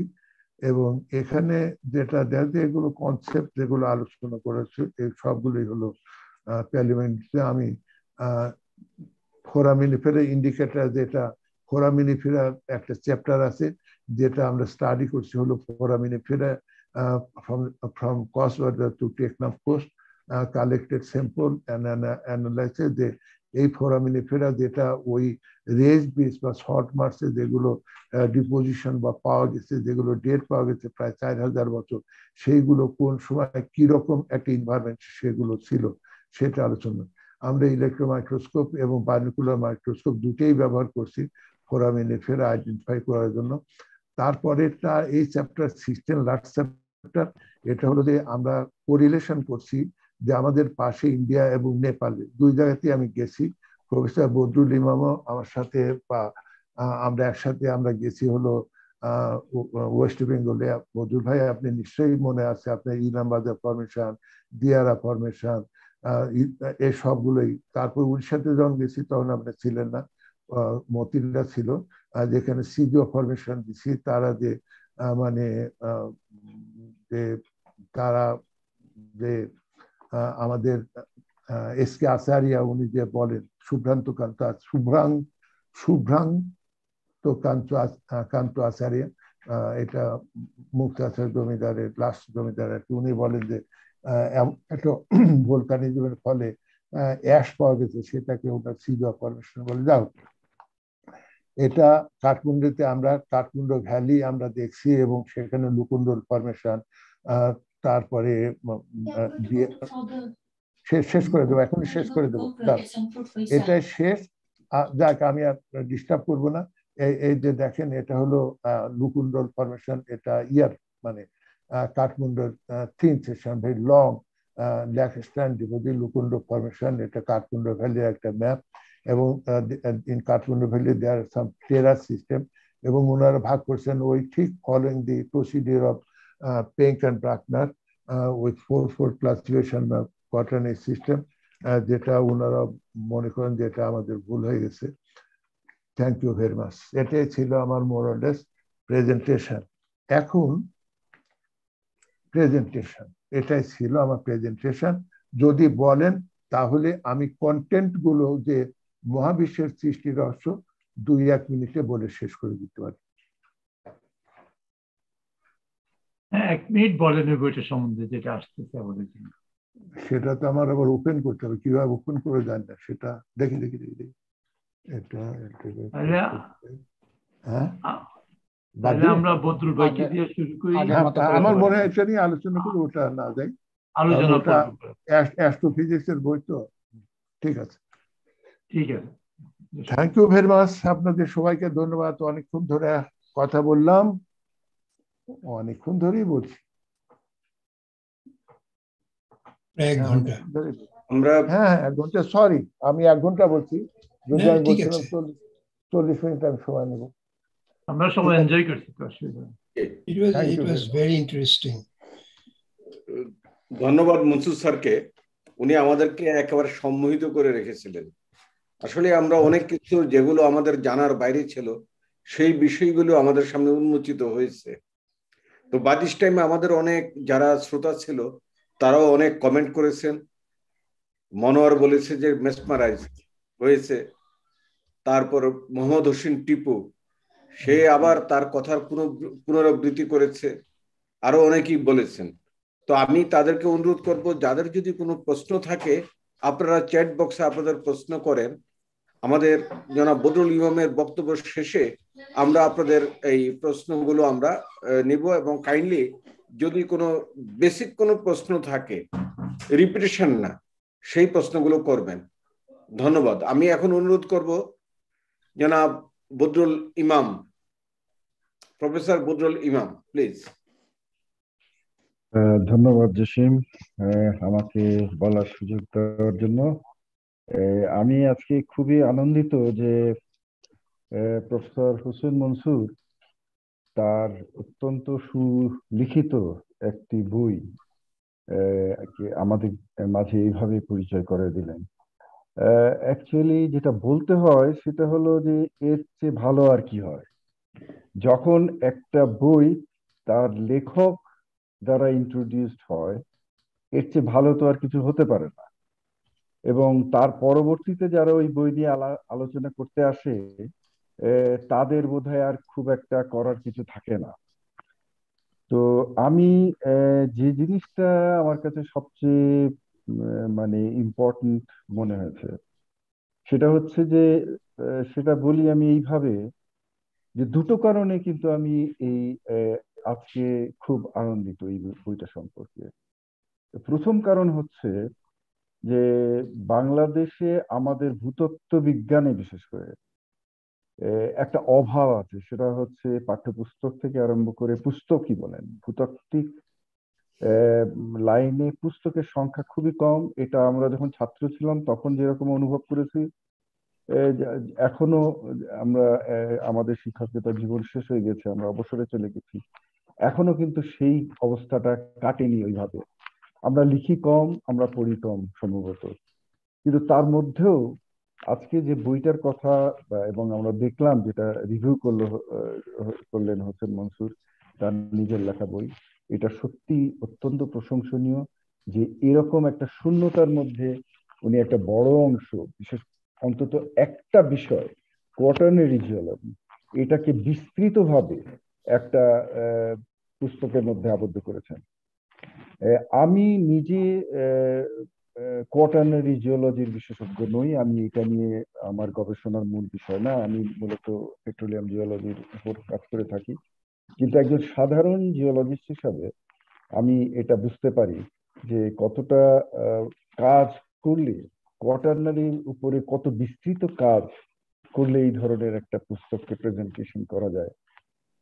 আমরা প্রফেসর হোসেন মনসুরকে দেখলাম। উনি আমাদেরকে বাংলাদেশের একেবারে উত্তর প্রান্ত থেকে নিয়ে গিয়ে একেবারে দক্ষিণ মানে তেতুলিয়া থেকে টেকনাফ যেটা বলে আর কি, সেই অবস্থায় নিয়ে গেলেন। এবং প্রত্যেকটা স্তরে উনি কোয়াটার্নারির যে বিষয়গুলা উত্থাপন করলেন, সেগুলা খুব সুন্দরভাবে অত্যন্ত ইলাস্ট্রেটিভ এবং বিশেষ করে এই বইটার আরেকটা বিষয় যেটা লক্ষ্য করার মতো সেটা সেটা হচ্ছে ইলাস্ট্রেশনগুলো। অত্যন্ত প্রাঞ্জল অত্যন্ত উজ্জ্বল এবং মানে অ্যাট্রাকটিভ এই বইটা ধরে আমার যেটা মনে হয়েছে মানে মনে হয় পাতাগুলো উল্টাইলে এটা আপনাকে আরও আকর্ষণ করবে ওই ফিগারগুলো ডায়াগ্রামগুলো ইত্যাদি। দ্বিতীয় যে কারণটা আমি বলছি যে আমি কেন অদরিচিত সেটা হচ্ছে যে এই বইটার উপর আমার বিশেষ দুর্বলতা হচ্ছে এই কারণে যে হোসেন মনসুরের সাথে আমি দীর্ঘ সময় ব্যাপী একই সাথে এক বিল্ডিং এ আমরা শিক্ষকতা করেছি। আমাদের মানে অতীত জীবনের স্মৃতির আটলা ঘাটলে দেখা যাবে যে বহু বহু ফিল্ডে আমরা মাইলের পর মাইল হেঁটে চলেছি, ঘণ্টার পর ঘণ্টা আমরা আর্গু করেছি, আমরা অ্যাগ্রি করেছি, আমরা ডিসঅ্যাগ্রি করেছি। এবং এই সমস্ত কিছু আজকে আমাকে একটা রিফ্লেকশন দিচ্ছে যে মানে ও যখন, উনি যখন প্যালিওম্যাগনেটিজমের কথা বলছিলেন উনি যখন পোলেনের কথা বলছিলেন, উনি যখন জিওমরফোলজির কথা বলছিলেন, এগুলো থেকে একটা থেকে একটা ওই আমার মনে আছে আমরা সিলেটে এক সময় ফিল্ডে ওয়ার্ক গেলাম এবং উনি তখন ওই প্লাস্টার অফ প্যারিসে বালতি নিয়ে ঘোরা ঘোরাঘুরি করতেন। তো ওটা ছিল প্যালিওম্যাগনেটিজম ওয়ার্কের একটা অংশ। যেখানে উনি স্যাম্পলিং করছেন, কীভাবে একটা প্লাস্টার অফ প্যারিস দিয়ে পুরো রকটাকে আবদ্ধ করে দিয়ে ওইটার আবার ওরিয়েন্টেশন মেপে সেটাকে স্যাম্পলিং করা। মানে এই যে ব্যাপ্তিটা আমি কেন এই কথাটা বললাম? নেক্সট টাইমে উনি চলে যাচ্ছেন পোলেনে। পোলেন হচ্ছে সে ক্ষুদ্রতি ক্ষুদ্র একটা অংশ যেখানে আপনার মাইক্রোস্কোপিক অ্যানালাইসিস দরকার। সুতরাং এই কোয়াটার্নারি জিওলজির এই যে বিস্তৃতি, যেভাবে উনি এই বইটার মধ্যে ধরে রেখেছেন, এটা সত্যি রিমার্কেবল এবং সবশেষে আমি একটা কথা বলি যে, কেউ যদি আমাকে বলে যে এই বইটা কোন অংশটা আপনার সবচেয়ে বেশি অ্যাট্রাক্টিভ বলে গেছে আমার কাছে কিন্তু স্পষ্ট একটা উত্তর আছে। আপনারা যদি হোসেন মনসুরের এই বক্তব্যটা ভালো মতো শুনে থাকেন, অথবা যদি কেউ এই বইটা পুরো মোটামুটি পড়ে থাকেন, তাহলে দেখবেন চ্যাপ্টার নাম্বার টেন এই চ্যাপ্টারটাই আমার সবচেয়ে মানে রিমার্কেবল মনে হয়, মনে হয়েছে এই কারণে। এই চ্যাপ্টারে কিন্তু একটা মানে দীর্ঘদিনের একটা ধ্যান ধারণাকে চ্যালেঞ্জ করা হয়েছে। আমি বললাম এই কারণে যে হোসেন মনসুর নিজেই কিন্তু যেটা বলছেন যে এটা হচ্ছে একটা হাইপোথেসিস এই হাইপোথিসিসটা কিন্তু একটা রেডিকাল একটা মৌলিক বিষয়কে আঘাত করা হয়েছে এখানে। এবং এই, এইখানে উনি যেটা আমাদেরকে এক্সপ্লেন করে দিলেন সেটা হচ্ছে ওনার এই যে নতুন হাইপোথেসিস যেটা আমি নতুন বলছি, কারণ আমরা সনাতনী ভাবে আমরা যে কোনো জিওলজির ছাত্রই আমরা যখন পড়াশোনা করে আসছি কোটানারি জিওলজি বলতে আমাদের কাছে মর্গান অ্যান্ড মাইকেল টাইনের ওই uplifted terraces of Madhupur terrace এবং বারিন ট্র্যাক এইগুলা এবং আমরা যখন মধুপুর ট্র্যাক দেখি, সে ওয়েস্টার্ন পার্টে যে ফলগুলা সেগুলাকেই আমরা, এদের সাথে আমরা পরিচিত বেশি। কিন্তু প্রফেসর হোসেন মনসুর যে তথ্যটা দিয়েছেন, এটা সম্পূর্ণ একটা নতুন তথ্য? উনি যেটাকে হাইপোথিসিস বলছে যে, না, এখানে দিস ইজ নট আপলিফটেড এগুলো হচ্ছে ইরোশনাল দ্যাট মিনস মধুপুর এবং বারিন এককালে একটা continuous area of Madhupur clay exposure ছিল। বিশাল যে ক্লাইমেটিক ফেজ যেটা উনি এক্সপ্লেন করলেন, দেখালেন যে ওই সময় north north western south western climatic মানে ক্লাইম যে মনসুন ক্লাইমেট সেটা প্রবল ছিল এবং এর তোড়ে এই যে আপনার এই যে পানির যে স্রোত সেইটার ফলে এই একটা ভ্যালি যে ভ্যালিগুলো সৃষ্টি হয়েছে ইরোশনাল ভ্যালি তার কিছু অংশ মধুপুর ট্র্যাক এবং কিছু অংশ বারিন ট্র্যাক হোসেন মনসুর আমি যদি ভুল করি আপনি আমাকে শুদ্ধ করবেন। ঠিক আছে। বাট আমি যতটুকু বুঝেছি বলতে চেয়েছেন যে these are the two relics of the original Madhupur মানে স্ট্রাটা এটা এটা আপনি হাইপোথিসিস স্টেজে রেখেছেন কেন সেটাও আমি বুঝতে পেরেছি বিকজ বিজ্ঞানে কিন্তু কোনো কিছু স্ট্যাটিক না। মর্গান এন্ড ম্যাকলটাইল আজ থেকে বহু বছর আগে ফল্টের উপর বেস করে উনি একটা তত্ত্ব দিয়েছেন।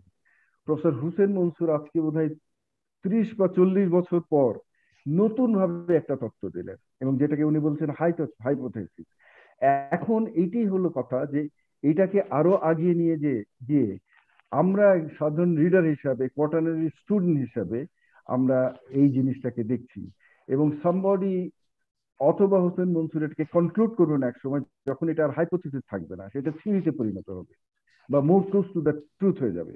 সুতরাং আমি আশা করি যে এই যে এই যে nurturing of thoughts of scientific মানে কোয়ালিটি এটাই কিন্তু সবচেয়ে বড় বিষয়। এটা এমন না যে আমরা একটা একটা হাইপোথেসিস বা থিওরিকে পুরোপুরি নেগেট করে দিয়ে এটা অ্যাকসেপ্ট করে নিলাম বা এটা কেউ অ্যাকসেপ্ট না করে ওটাকেই ধরে নিল।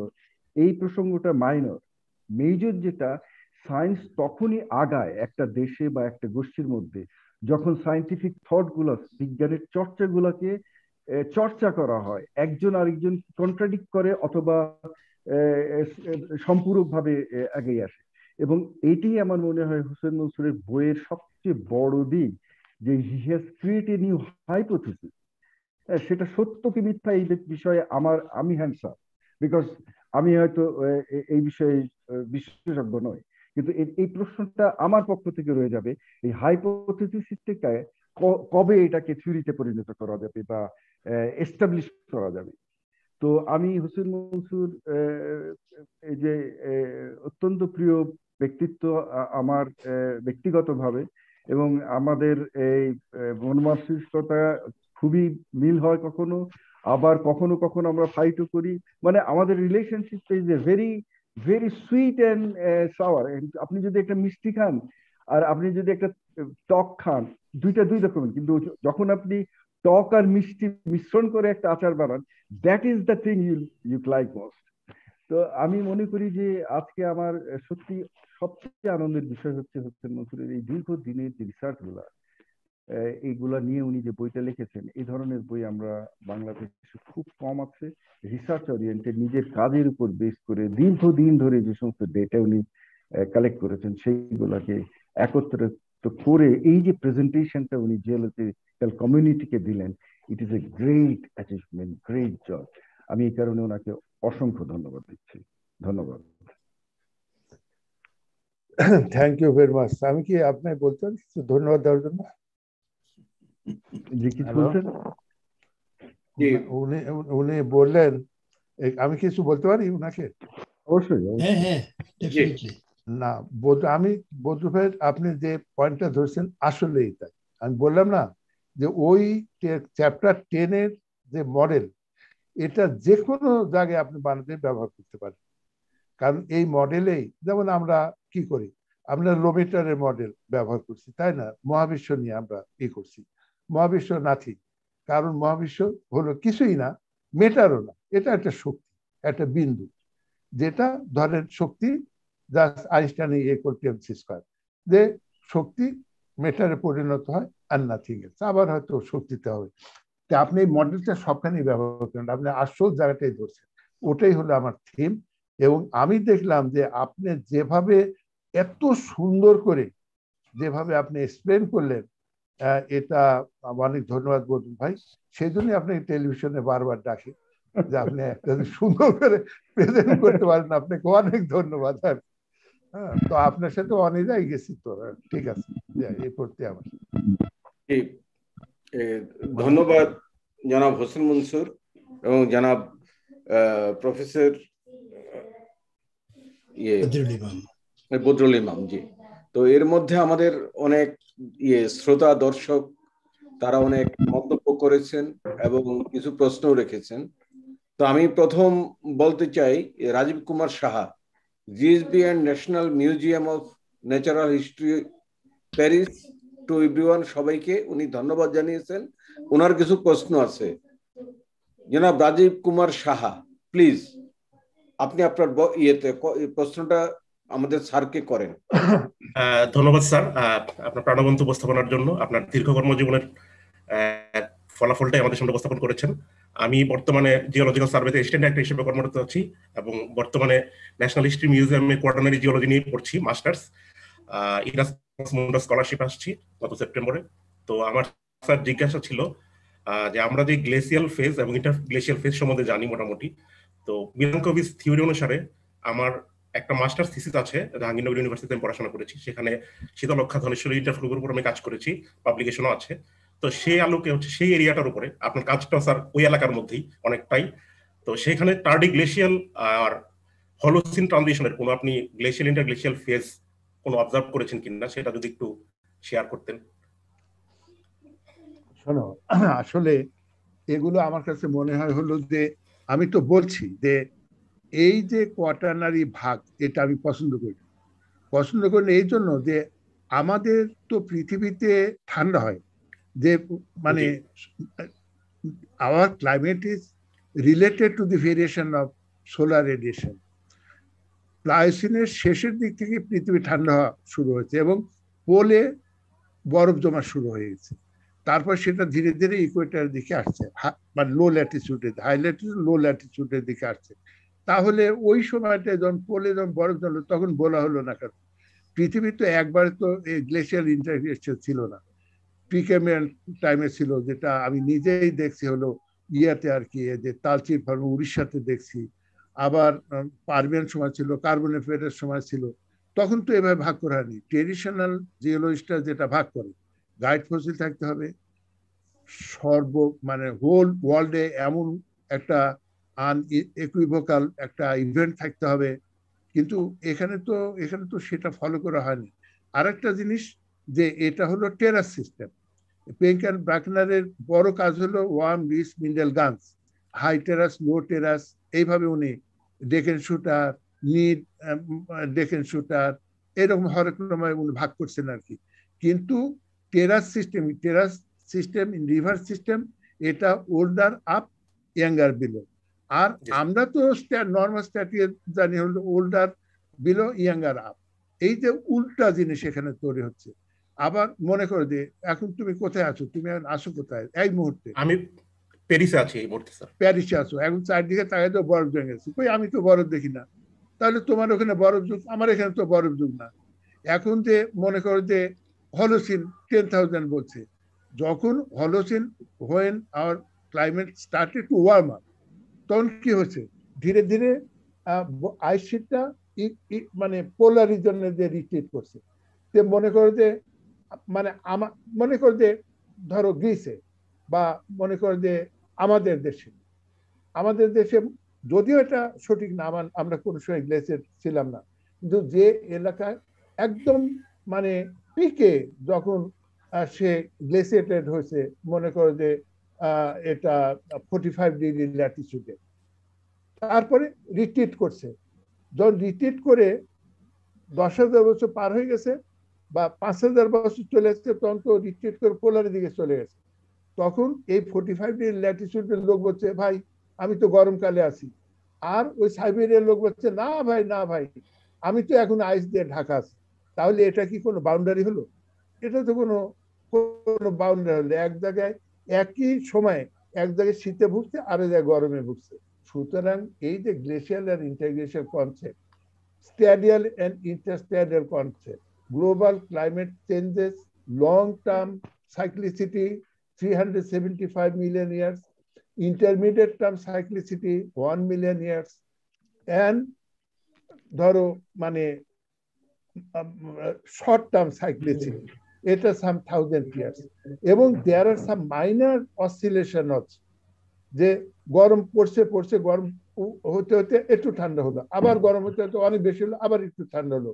এই যে there are some peaks in long term cycles সুতরাং এই যে climatic based classification should not be applied in traditional geology আমি এটা মনে করি। What are nothing but the continuation Tertiary এটা আমি ধন্যবাদ স্যার। আচ্ছা থ্যাংক ইউ ভেরি মাচ ধন্যবাদ। আমাদের দ্বিতীয় প্রশ্ন আছে জনাব খালিদ। তার একটি প্রশ্ন আছে খালিদ আছেন কি? এই খালিদকে অন করে দেন যে উনি স্যারকে একটা প্রশ্ন করবেন।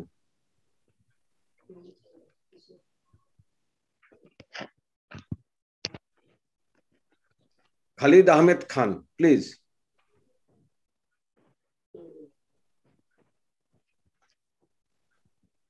sir video নেই অডিও অন আছে। ওকে হ্যাঁ অন করতে হবে মনে হয়। খালিদ স্যার আপনার অডিও অন আছে কথা বলেন। হ্যাঁ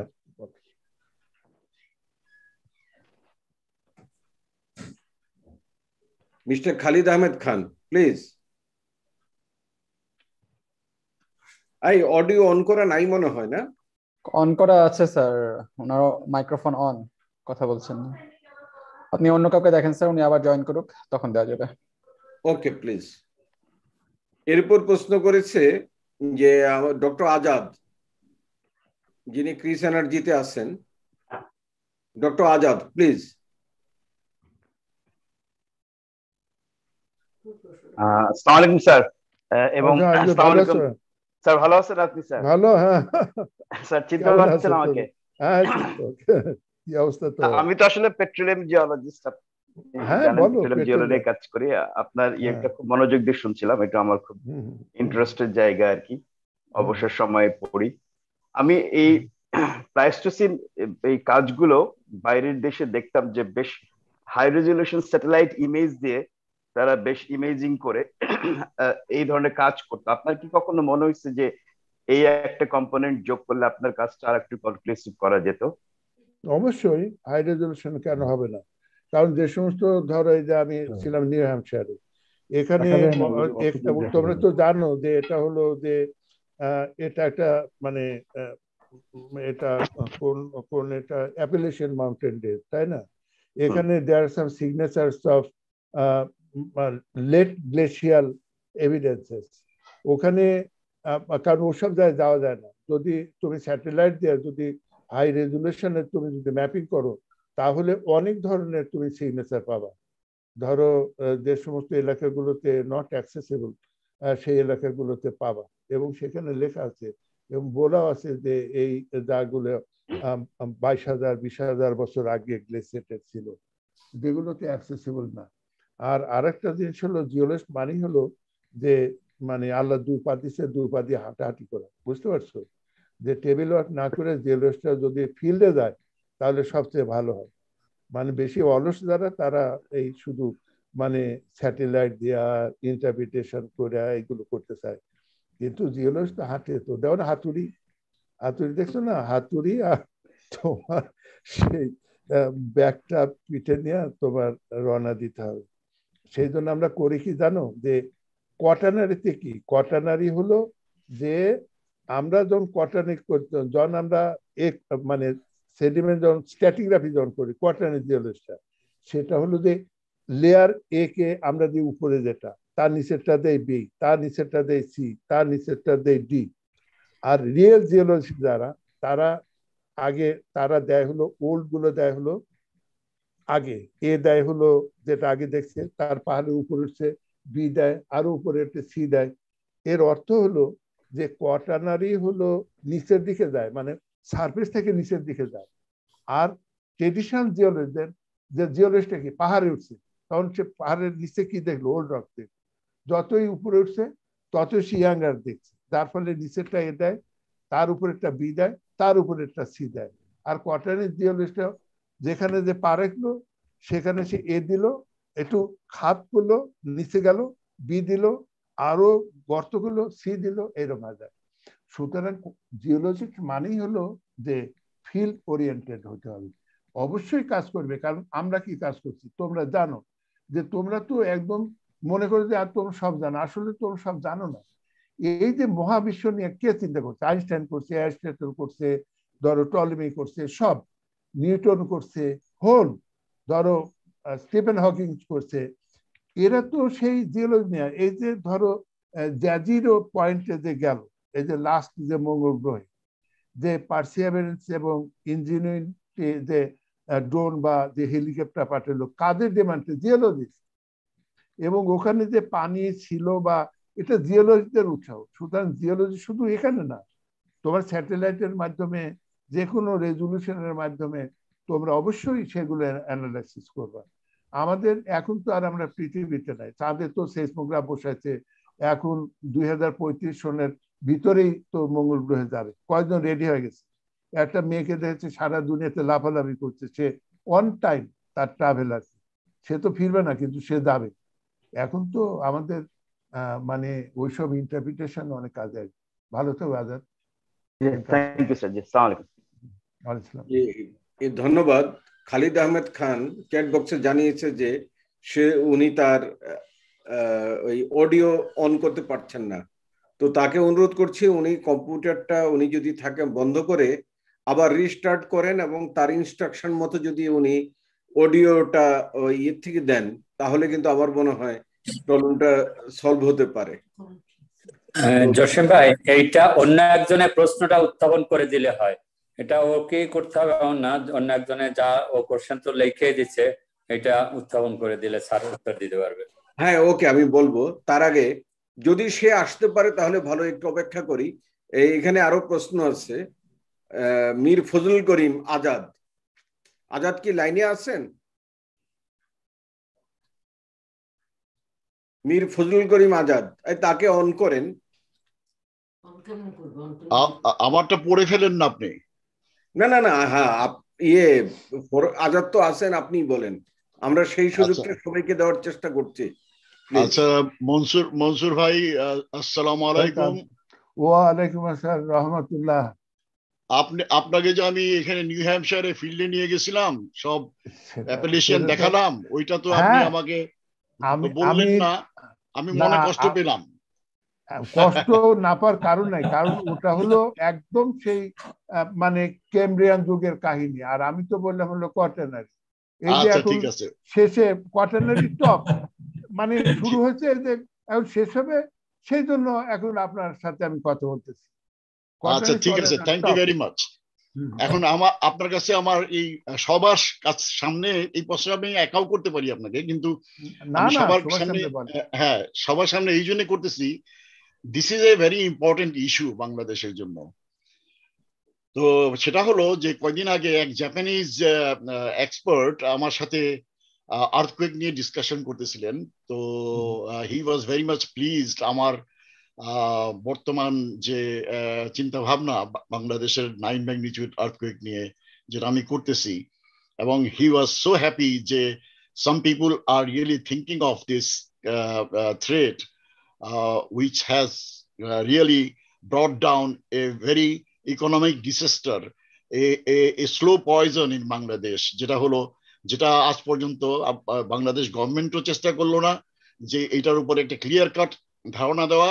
অনেকগুলো প্রজেক্ট বাংলাদেশে হয়ে গেছে, যে প্রজেক্টে অলরেডি নাইন ম্যাগনিটিউড আর্থকুয়েক ধরে ডিজাইন করা হয়েছে এবং ওর যে খরচ বাংলাদেশের সমস্ত মানুষরা আমরা বহন করব। এটা একটা দিক। সেই কারণে এই প্রসঙ্গে আরেকটা দিক চলে আসে, সেটা হলো যে আপনি লক্ষ্য করবেন যে ওয়ার্ল্ড এখন very actively involve in global warming এবং তার ইম্প্যাক্ট নিয়ে। তো আপনি যে কাজটা করেছেন, আপনার এই কাজ, আপনার বইটা কিছুটা পড়ার পরে আপনার বই থেকে আমি একটা আনসার পাই ওই ভদ্রলোকের কাছে, সেটা হলো যে সে আমাকে প্রশ্ন করে যে তোমরা জিওলজিস্টরা গ্লোবাল ওয়ার্মিং নিয়ে কি করছ, কি ভাবছ? তো আমি বললাম, দেখো জিওলজিস্টদের তো অনেক ভাবার আছে। তো জিওলজিস্টরা আজকাল অন্য কাজ বেশি করে। তো গ্লোবাল ওয়ার্মিং নিয়ে আমার দেশে জিওলজিস্টরা এখনও খুব একটা অ্যাক্টিভ না। তবে তাদের অ্যাক্টিভ হওয়ার একটা স্কোপ আছে। তখন আমি আপনার বইয়ের কথা বললাম যে, একটা বই রিসেন্টলি পাবলিশ হয়েছে। তুমি ওই বইটা পড়তে পারো কোয়াটার্নির জিওলজি তো সেই বইটাতে এই যে এই যে গ্লোবাল ওয়ার্মিং এবং স্টেডিয়াল ইন্টারস্টেডিয়াল যে ব্যাপারগুলা, এইগুলা কিছুটা ডিসক্রাইব করা আছে। সো এর অর্থ হলো যে এই যে warming and cooling A this are recorded in Bangladesh সেডিমেন্টে এত পারফেক্টলি যেটা পৃথিবীর আর কোথাও নাই, সেটা আমি তাকে বললাম। সো তুমি যদি ইন্টারেস্টেড হও, তাহলে বাংলাদেশে কোনো কারোর সাথে কোনো প্রজেক্ট করে তুমি you can read those layers quaternary layers যেগুলা থেকে আমরা অ্যাকচুয়াল ওয়ার্মিং অ্যান্ড কুলিং এর কনফিগারেশনটা করতে পারব। তো এখন আপনি একজন এক্সপার্ট আপনি আমাকে বলেন, আমি কি তাকে ঠিক বলেছি? এবং আমাদের কি করণীয় এখন? বাংলাদেশের জিওলজিস্টদের কি করা দরকার? আপনি যেটা বলছেন যে গ্লোবাল ওয়ার্মিং নিয়ে বাংলাদেশে কাজ হয় নাই এটা ঠিক না কাজ হয়েছে। না না আমি বলতে চাচ্ছি যে জিওলজিস্ট জিওলজিস্ট না আমি বলছি এটা কাজ হয়েছে প্রায় তাদের দশটা ভলিউমের মতো তারা বের করছে এবং কোটি কোটি টাকা তারা হয়তো এটা গ্রান্ট মানি হিসেবেই আসছে আর কি এবং সেখানে আপনার জানেন যে মানে আপনি যদি ইংল্যান্ডের বা আমেরিকান কোন এক্সপার্ট এখানে কনসালটেন্ট রাখেন তাদের ফি প্রায় বিশ হাজারের মতো ডলার আর আপনি যদি জাপানিজ নেন তাহলে পনেরো হাজার থেকে ষোলো হাজার বারো হাজার থেকে শুরু হয়। এবং তারা কাজ করছে এবং তারা গ্লোবাল ওয়ার্মিং এর উপরে, বাংলাদেশ ইম্প্যাক্টের উপরে কাজ করছে। ওখানে কিছু ছবি এখানে আমার বইয়ে দেওয়া আছে। দেওয়া আছে। কাজ কাজ হচ্ছে আর কি, হয়েছে।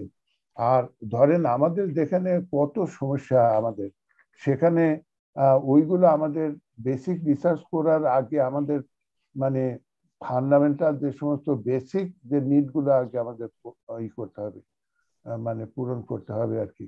তো করুক না ইন্ডিয়া করতেছে আমেরিকা করতেছে চায়না করতেছে ফান্ডামেন্টাল যে কাজ সেগুলো তারা করতেছে। তবে ওই রকম কিছু হবে না, যেমন ভয় দেখানো, যে ব্যাংকক, সাংহাই, ঢাকা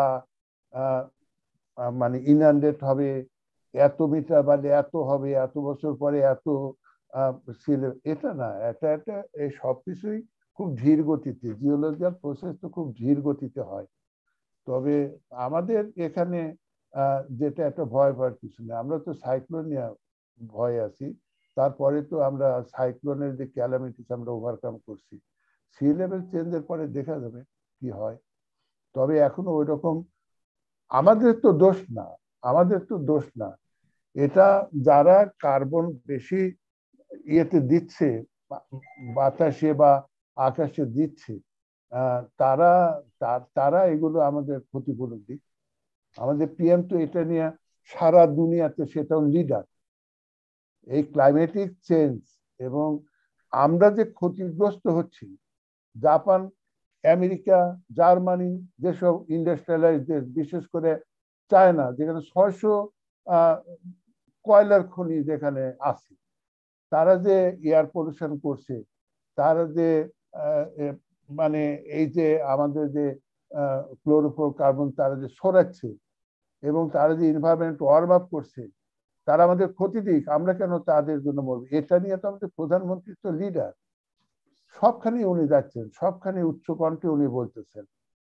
তো সেটা তো একদিকে আমরা রিসার্চ করি যতটুকু করে আমরা করছি অন্যদিকে আমাদের তো এটা নিয়ে মুভমেন্ট চলছে। এদিকে সরকার আন্তর্জাতিকভাবেই যথেষ্ট সুনাম পাইছে আর তো না আবার পরবর্তীতে এই এই পরে প্রশ্ন চলে আসে সেটা হলো যে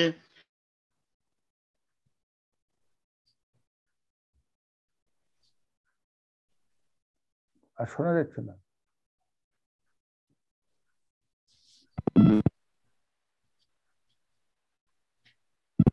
ফজলুল স্যার মিউট হয়ে গেছেন? মিউট হয়ে গেছেন। জসিম মোবন আমি সরি আমার আনমিউট ছিল না। আমি আবার শুরু করে বলি অনুরোধ করছি যে আরও অনেকে অপেক্ষা করছে হ্যাঁ রাতও না না না ছোট সবসময় বাধার সৃষ্টি করেন কেন? না না না বাধা না সুযোগ দেয়া। এক মিনিট সেটা হলো যে বাংলাদেশে যে কার্বন ডাই অক্সাইডের যে এটা প্রশ্নটা তুলে আসছে যে গ্লোবাল ওয়ার্মিং নিয়ে এটা কি রিজিয়নাল লোকাল না গ্লোবাল আমাদের দেশে এমন কোনো ঘটনা ঘটে নাই যে একেবারে এমন যে একটা মাইন তৈরি হয়েছে আর কয়েকটা এখানে মানে কার্বন বেস মানে কয়লা বেস পাওয়ার প্লান্ট তৈরি হয়েছে। এই জন্য যারা পরিবেশবাদী, তারা বাইরে থেকে টাকা পায় হইচই করার জন্য, মিছিল করার জন্য টাকা পায়। কিন্তু আমাদের বিদ্যুৎ কে দিবে? আমাদের কৃষি জমিতে পানি সরবরাহ করবে কেমন? কেমনে? আমাদের ষোলো কোটি মানুষের খাদ্য উৎপাদন করবে কেমনে? এগুলো তো তারা বলে না। যাদের দেশে এগুলো ব্যবহার করে, তাদের জন্য বলুন। তাদের প্রভাবে আমরা প্রভাবিত। আমাদের দেশে যথেষ্ট বৃষ্টিপাত হয় এবং এই যে মানে সিএফসি যেটা আমাদের যে এফেক্ট করে সেটা তো তাদের জন্য আমাদের জন্য না। আমরা এমন কোনো বেশি কার্বন উৎপাদন মানে করি না বা বাতাসে দেই না যেটাতে আমরা এফেক্টেড হই। ওদের জন্য তো আমরা এফেক্টেড ওদের জন্যই তো আমাদের সমুদ্র পৃষ্ঠ কিছুটা হলো সি লেভেল আমাদের তো কোনো দোষ নাই। কিন্তু কিছু ব্যক্তি আছে যারা এটা নিয়ে হইচই করে। এবং হইচই করা, মিছিল করা, সব জন্যই তারা ওই ফান্ড থেকে তারা টাকা পায়। এটাই।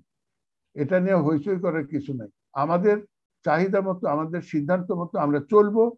আমাদের যথেষ্ট ইন্টেলিজেন্ট পার্সন আছে, যথেষ্ট রিসোর্স পার্সন আছে যারা আমাদের এই দেশকে চালাইতে পারে। অন্যের বুদ্ধি ছাড়াই।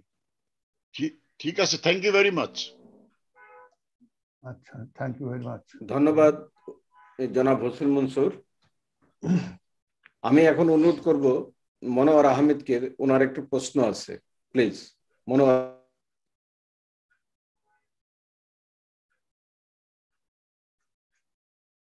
আসসালামু আলাইকুম সবাইকে। প্রথমে আমাদের হোসেন মনসুর ভাইকে আমি মনসুর ভাই বলতাম ওনাকে কারণ আমি সম্ভবত একেবারে প্রথম দিকের পরিচয় আমার আপনার সাথে। আমার মনে আছে রাসায়ন ওই রাজলোক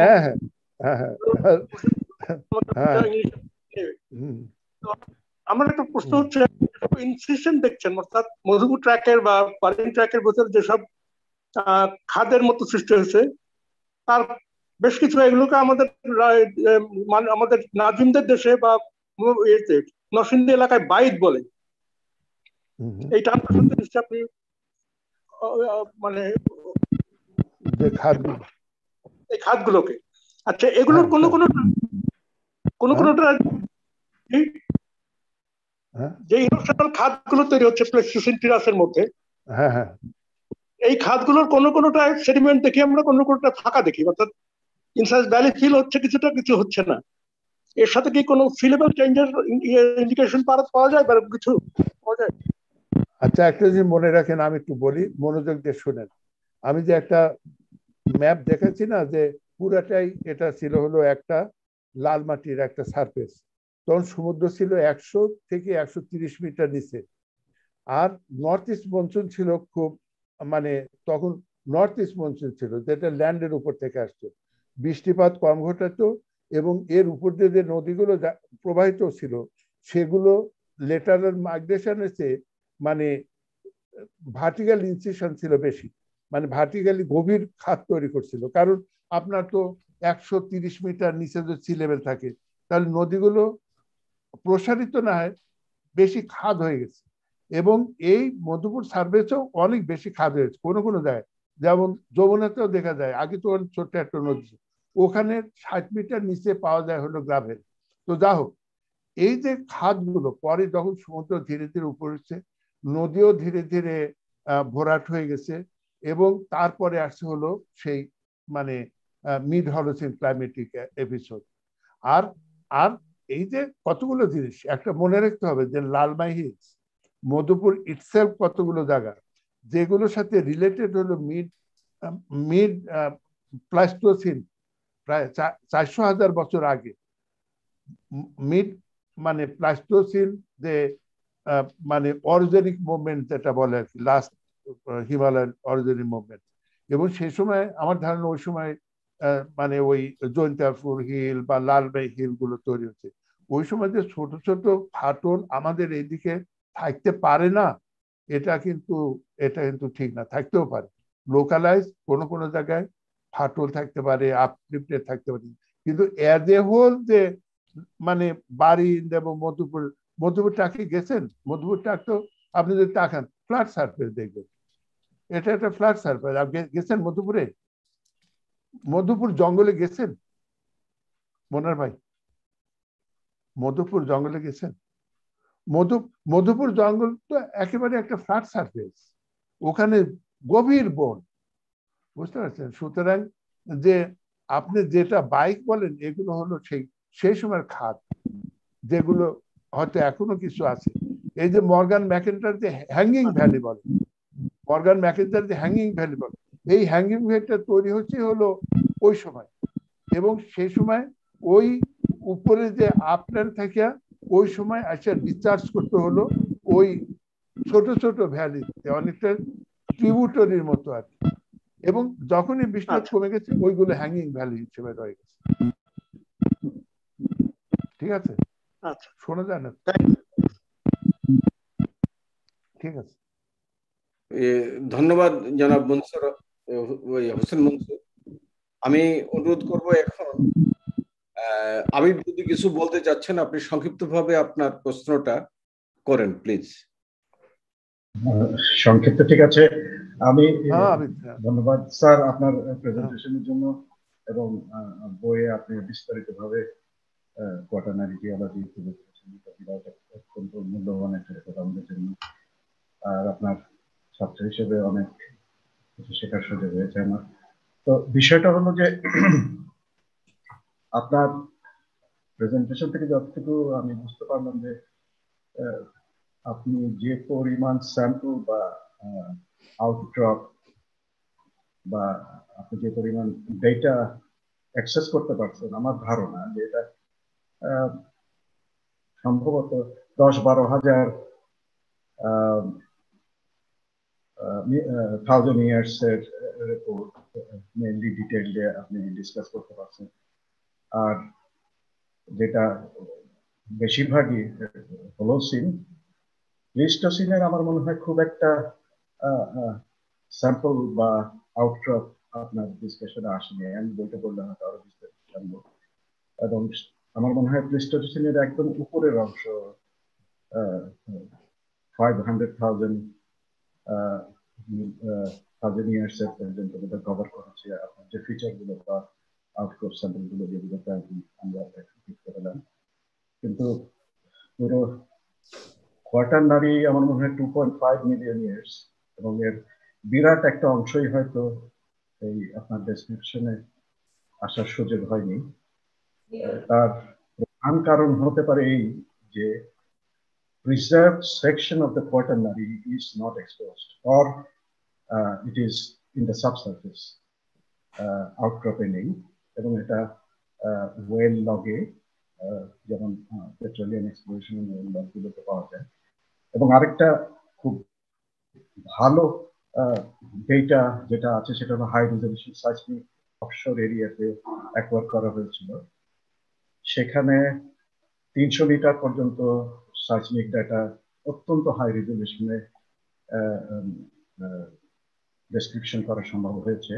এক ভদ্রলোক করেছেন এটা স্টাডি নিয়ে। এবং সেখানে অন্তত ছয় থেকে আটটা কোর্স রিগ্রেসিভ সিস্টেম স্ট্রাইক দেখানো হয়েছে, যেগুলো লেট প্লিস্টোসিন ট্রান্সলেশন এবং রিগ্রেশনকে ডেসক্রাইব করেছে বা প্রিজার্ভ করেছে। সুতরাং আমি মনে করি যে যদি আমাদের কোয়াটারনারি জিওলজি পুরোপুরি ভাবে বাংলাদেশের জন্য করতে হয়, তাহলে আমার মনে হয় যে seismic high resolution seismic data যেগুলো লোকেশনের জন্য যেগুলো জিওটেকনিক্যাল সার্ভের জন্য করা হয় অফশোর এরিয়াতে বিশেষ করে রিক রিক পেনিট্রেশনের রেক পেনিট্রেশনের স্টাডির জন্য।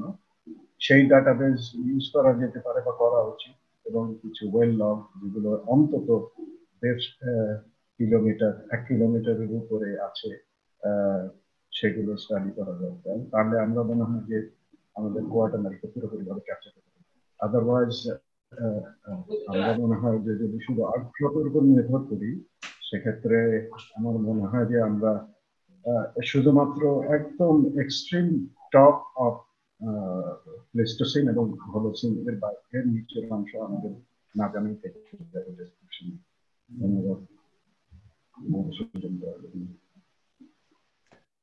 আমি কি উত্তর দেব?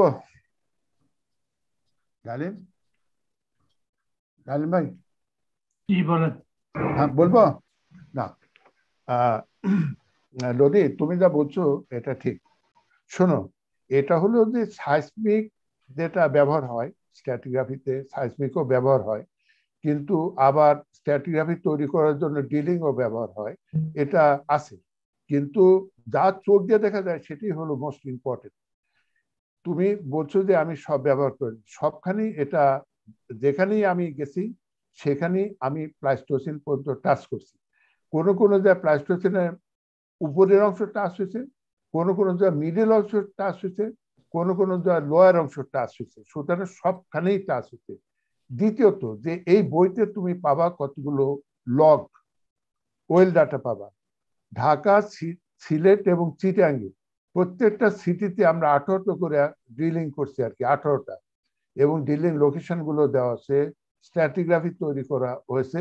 আঠারোটা ড্রিলিং এর আমরা করছি হলো একশো ফিট করে আর কি, তিরিশ মিটার করে ড্রিলিং করছে আর কি, ত্রিশ মিটার করে ড্রিলিং করছি। সুতরাং আর মধুপুরের থিকনেস হলো মাত্র, ধরো ম্যাক্সিমাম তুমি যদি বলো, তাহলে এটা পনেরো থেকে বিশ মানে মিটার থিক ডিপোজিট আর সুতরাং এর আদ্যপান তো বাইর করার জন্য ওই হাই রেজলিউশনের ওই সাইসমিক ডাটার দরকার নেই।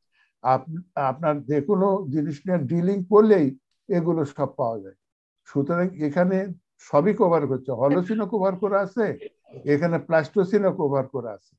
আর কভার না করলে পরে কীভাবে আমি বলব যে আমি এখানে মধুপুরের মিডল অংশ পাচ্ছি, এখানে লোয়ার পার্ট পাচ্ছি, এখানে কিছুই নাই এই সব সেকশন গুলোই ওই বইয়ের ভিতরে আছে। তুমি কি একটু, তুমি কি ক্যানাডায় না আমেরিকায় তুমি? তুমি আসো, তোমাকে একটা বই আমি গিফট করব, আসো। স্যার এখন আমি ঢাকাতে আমি আচ্ছা তুমি বাসায় বাসায়। অষ্টাশিতে স্কুলে করে আসো একটু আচ্ছা ঠিক আছে স্যার আমি আপনার সাথে যোগাযোগ করে আসব। স্যার আপনার কথা আমি আমি আমি নিলাম। কিন্তু আমরা আমাদের অফশোর এরিয়াতে অফশোরে তো বাবা মধুপুর ক্লে পাবা না অফশোরে মধুপুর ক্লে পাবা না।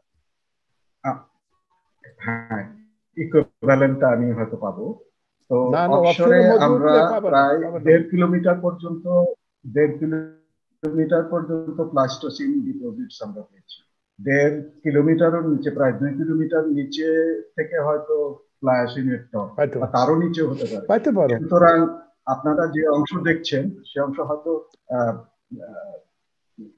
সে অংশ হয়তো উপরের অংশটা দেখছেন। কেননা two point five million years এর মধ্যে আমার ধারণা যে আপনারা ম্যাক্সিমাম হলো আমি তো অফশোরে আমরা তো অফশোরে কাজ করিনি। তুমি যদি বলে যে সচ অফ নকডাউনে স্ট্যাটিগ্রাফি ওই কুদ্দাস করছে। আমি তো করিনি। তোমরা যারা সেটাই আমি বলছি যে আপনার কথা ঠিক আছে।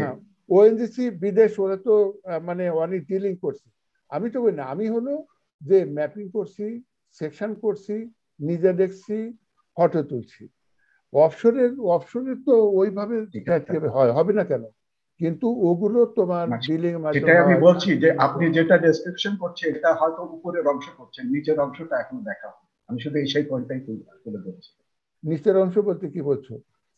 আমি বলছি যে প্লেস্টোসিনের নিচের অংশ দেখা হয়নি। আপনি ম্যাক্সিমাম নিচের অংশ তো নিচের অংশ 100 মিটার দেখেছেন।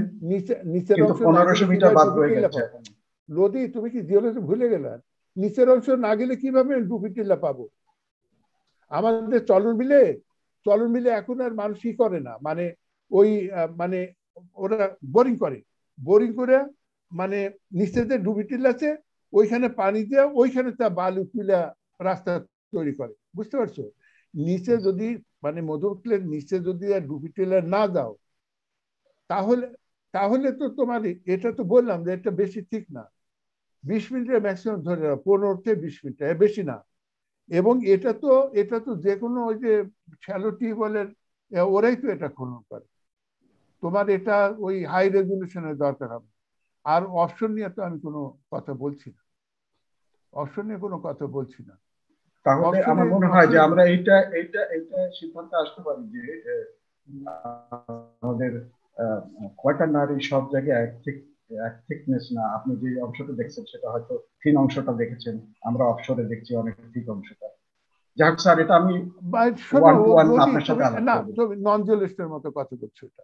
একদম নন জিওলজিস্ট তুমি ভুলে গেছো জিওলজি অফশোরে তো অফশোরের জিওলজি আলাদা। অফশোরে তো অফশোরে কত সার্ভে সার্ভে হচ্ছে ডিলিং হচ্ছে ওটা তো এটা তো আমাদের কাছে ওই ম্যাপ নাই। সেটা তো আমরা করিও নাই। আমরা করি কন্টিনেন্টের উপরে যেগুলো যে হাঁটি দেখি সেকশন করি বোরিং করি এখানে আমরা দেখছি। আমরা তো বেঙ্গল বেসিনেরই অংশ স্যার। আমি একটু মিনিমাইজ করে দেই ব্যাপারটাকে। আমি বাংলাদেশ বলছি লদি। বাংলাদেশ বলছি। আমি অস্ট্রেলিয়া বলছি। লদি তুমি আমি স্যার আপনার সাথে আলাদাভাবে আলাপ করি স্যার এটা। না না আলাদা ভাবেও আলাপ করবে কেন? সবার সামনে অডিয়েন্সে তুমি তো নিজের অগ্রতে মানে ই করছ তুমি ফার্স্ট হয়েছিলে তুমি কেন এই ধরনের কথা বলছো? আমি তো কোয়ার্টারের জিওলজি যেগুলো ম্যাপ করছি যেগুলো দেখাচ্ছি সেকশন এটা নিয়ে বই লিখছি। আমি তো অপশন নিয়ে কাজ করছি না। আমি তো এখানে সাইসমোলজি ব্যবহার করছি না। সাইসমিক কাজ আমার এখানে নাই। তোমরা করো। তোমরা করো নদী আমরা যখন করব তখন আমরা আমরা সেটা নিয়ে তোমরা করো কিছু বিজনেস করো ওখানে। পর্যন্ত যাব। তোমরা ওটা নিয়ে বিজনেস করো ধন্যবাদ ধন্যবাদ লোদি। আমরা হয়তো আরও মানে ইয়েতে হোয়াটসঅ্যাপ গ্রুপে আমরা এই বিষয়ে লেখালেখি করতে পারব। আমাদের প্রতি সেশনের পর যা আলোচিত হয় তা নিয়ে অনেকে আলোচনা করেন। যদি কোনো প্রশ্ন থেকে যায় আমার মনে হয় যে সেখানে লিখলে আমার মনে হয় যে আমাদের মনসুর স্যার সে ব্যাপারে না না আমি আমি যতটুকু আমি জানি আমার ওই জানার বিষয়টা বয়ে দিছি। অবসরে কি আছে বা মানে ওই দিকে কি আছে এটা নিয়ে আমি কথা বলিনি। তবে শোর লাইন নিয়ে আমার এখানে কথা আছে শোর লাইন নিয়ে আমি লিখছি। ঠিক আছে? আমাদের সময় আর বেশি নাই আমরা আশা করি আর ম্যাক্সিমাম পনেরো মিনিট থাকব। জসিম আহাদনা চৌধুরী ভাই আছেন লদি শোনো তুমি আমার বাসায় আসো আমি তোমার একটা বই দিয়ে তুমি আমার প্রিয় ছাত্র তোমার আর একটু পড়তে হবে। ঠিক আছে আসো। ধন্যবাদ আমাদের মনসুর স্যারকে লদিকে আপনি সরাসরি আমন্ত্রণ করেছেন। আমার মনে হয় যে আপনারা বিষয় না না ও আমার বাড়ি সিরাজগঞ্জ ও ফার্স্ট বয় ও ও মানে ঢাকায় থাকে। তুমি অষ্টাশিতে শুনে পারা ওকে। ইয়ে আমাদের এই খালিদ আহমেদ অনেকক্ষণ হ্যান্ড রেজ করেছিলেন। তো যদি উনি ওপেন করতে না পারেন তার প্রশ্নটা আমি করে দেই। তার দুটো প্রশ্ন ছিল। আমি সেটা পড়ি। Sir has explained the erosional mechanism of Madhupur terrace in detail I like to request sir to share us the depositional environment and media for this formation that now appear as terraces. Had this formation been deposited all over the Bengal basin? If so, can I can we expect to find this formation or equivalent in the Chittagong hill tracts area? তো আমার মনে হয় যে এর জবাব অনেকক্ষণ আগেই হয়ে গেছে তারপরেও আমাদের মনসুর স্যার একটু সংক্ষেপে জবাব দিতে না না এটা ওখানে পাওয়া যাবে না কারণ চিটাং হিল ট্রাস্টগুলো যেগুলো এটা আপডেটেড হয়েছে এগুলো এই প্লাস্টোসিন হয়নি এটা তার আগে হয়েছে সুতরাং আমরা যে আমরা যে এই মধু ফরেস্টের পাচ্ছি, আমাদের বারিন্দা মধু ট্রাক্টে, এগুলো তো অনেক পরের ঘটনা। আর কারণ এই যে এই যে আমি যেটা বলছি যে, আমাদের যে আরাকান ইয়ামার যে মাঝে মাঝে যে মানে আপলিফট সেগুলো কিন্তু অনেক আগে থেকে হয়েছে। ওই টপে তো ইরোশনাল জিনিস পাওয়া যাবে। আমরা যে কোনো যে, আমাদের হিলের টপে আমরা শুধুই পাবো হলো মানে ওখানে সেডিমেন্ট তো যেগুলো ইরোশন হবে, সেগুলো ওয়েদারিং হবে, নিচে গড়ে পড়বে। মধুপুর ক্লে ওখানে পাওয়া যাবে না, কারণ মধুপুরের বয়স, ওই হিলকগুলো আপলিফট হচ্ছে অনেক কম। সুতরাং ওখানে পাওয়া যাবে না। ওই হিলকগুলো যখন ছিল, তখন তো আমরা পাই হলো বোকাবেল, ভুবন বা ত্রিপাব এইসব ফরমেশনগুলো ওইখানে পাই, অনেক আগে। মধুপুর ওখানে পাওয়া যাবে না। নেওয়ার ধন্যবাদ জনাব ইয়ে হোসেন মনসুর। আমি অনুরোধ করব, আমাদের আরও অনেক প্রখ্যাত জিওলজিস্ট, আমাদের শিক্ষক, তারাও আমাদের এই আজকের আলোচনায়, আজকের ইয়েতে, অনুষ্ঠানে আছেন। তার আগে মোহাম্মদ হোসেন, ও বেশ কয়েকবার লিখেছে, টিপু, যাকে আমরা টিপু হিসাবে জানি। খুব সংক্ষিপ্ত ভাবে আপনার, এই বক্তব্য একটু বলেন, আপনার ফিলিংসটা। আপনি কয়েকবারই ফিলিংস প্রকাশ করতে চেয়েছেন, যদি থেকে থাকেন, বলেন, প্লিজ। আসলে ধন্যবাদ জসিম ভাই। শুনতে পাচ্ছেন? হ্যাঁ আমি আমি সবাইকে সালাম শুভেচ্ছা জানাচ্ছি। আমার কোনো কোশ্চেন নাই আমি জাস্ট রিমার্ক করতে চাই। আসলে অত্যন্ত চমৎকার প্রাণবন্ত একটা প্রেজেন্টেশন দেখলাম। আর যেহেতু আমরা জানি সবাই ইট কাইন্ড অফ রেপুটেশন পুরা দেশ ইজ কাভার্ড বাই কোয়াটারনারি কাজে সেই হিসাবে quaternary importance is very high এবং স্যার তার এই বিস্তৃত রিসার্চের মাধ্যমে চমৎকারভাবে তুলে ধরেছেন। এটা আমাদের অনেক সামনের দিকের উন্নয়নকে স্পেশালি আমরা যখন whenever we talking about like sustainable development goals এবং এই এই রেসপেক্টে কিন্তু ইট ইট উড বি মানে beneficial not only to geologist but all other players মানে who are working in this sector আর আরেকটা জিনিস অ্যাড করতে চাই আসলেই সেই চার দশক আগে স্যারকে শিক্ষক হিসেবে পেয়েছিলাম। তো আমি তখনই দেখেছি যে স্যারের সেই ডেভোশন আর আজকেও বুঝতে পারলাম যে এই রিসার্চ উনি কতটা ডেভোটেড ভাবে করেছেন। এবং যেটা আমি মনে করি যে আমরা আসলে অনেকেই কাজ করি, অনেকেই রিসার্চ করি, কিন্তু degree of devotion is very important to bring something really good তো স্যারের এই কাজ এবং এই এই প্রকাশনা আমাদের অনেকের জন্যই ইন্সপায়ারিং হবে। অসংখ্য ধন্যবাদ স্যার। আপনার সুস্বাস্থ্য এবং দীর্ঘায়ু কামনা করি এবং আমি দোয়া করি আপনি আমাদের মাঝে আরও অনেক দিন থেকে আপনার এই জ্ঞান বিতরণ করে যান। থ্যাংক ইউ মোহাম্মদ হোসেন কারণ তুমি মানে অনেক আমার সবচেয়ে প্রিয় ছাত্র এবং অনেক প্রিয় ছাত্রের ভিতরে মানে সবচেয়ে বেশি আমার কাছে সবসময় অ্যাটাচ থাকো। তবে তোমাকে দেখে ভালো লাগল, কারণ তুমি বাংলাদেশে আসছিলে, একটু রোগা রোগা মনে হচ্ছে, এখন অনেকটা ফ্রেশ হয়ে গেছে আর কি। এবং তোমার এই যে দেখো এই যে তোমার সেফুল একটা এখানে আছে আজম এখানে আছে আর কি। আমি আমি হ্যাঁ স্যার এই এই এই না একটু কথা বলি স্যার যেহেতু আপনি আজমের কথা রেফার করলেন আজম আমার লাইক হিজ মাই মানে লাইক ইয়াঙ্গার ব্রাদার এবং good friend for last twenty seven years এবং আপনার আপনার মনে আছে স্যার আপনাকে আমি বলেছিলাম যে আপনি যদি স্যার ভালো একটা বই করতে চান কোয়ালিটি ওয়ার্ক চান আমি স্যার একজনকে নিয়ে আসব স্যার। সো আমার খুব ভালো লাগতেছে যে এই মানে অনেকেই জানে না যে বাংলাদেশেও যে এই মানের বই তৈরি হতে পারে।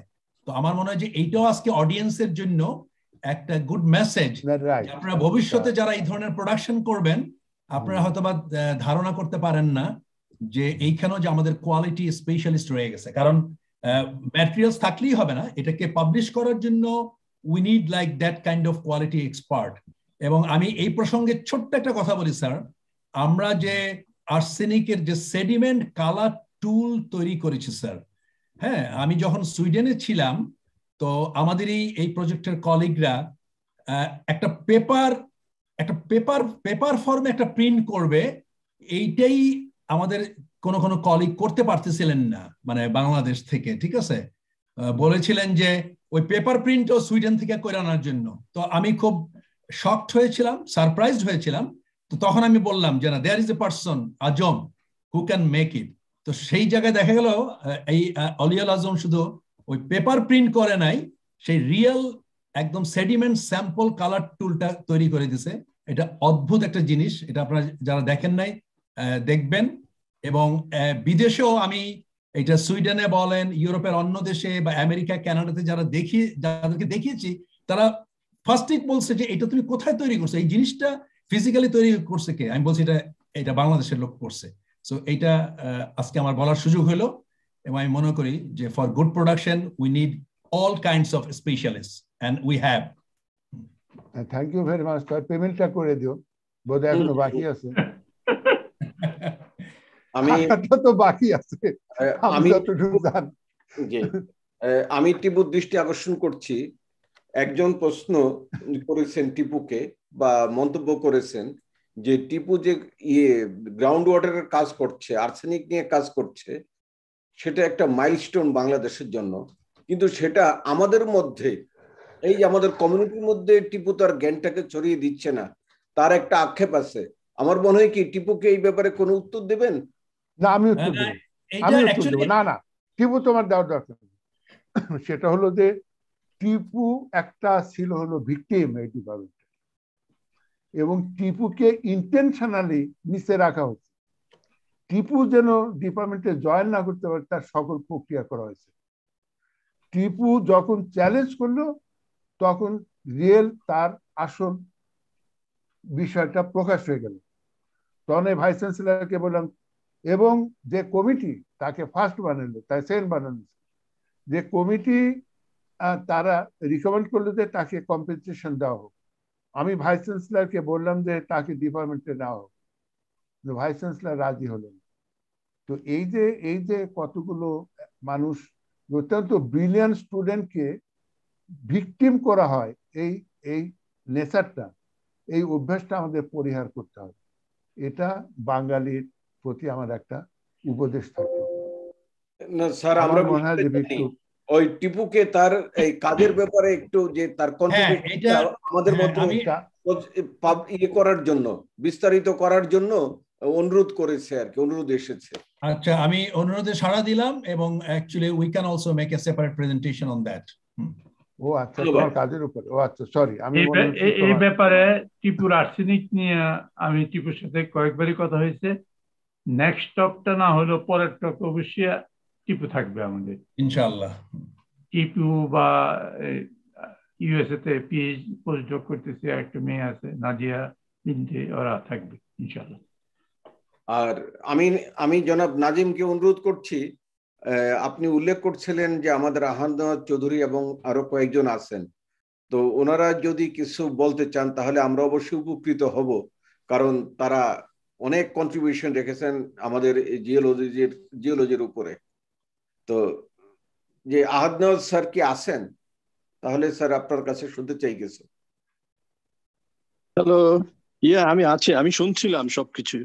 Very interesting geological and non geological information হ্যাঁ আসসালামু আলাইকুম সবাইকে। স্যার স্যার ভালো আছেন?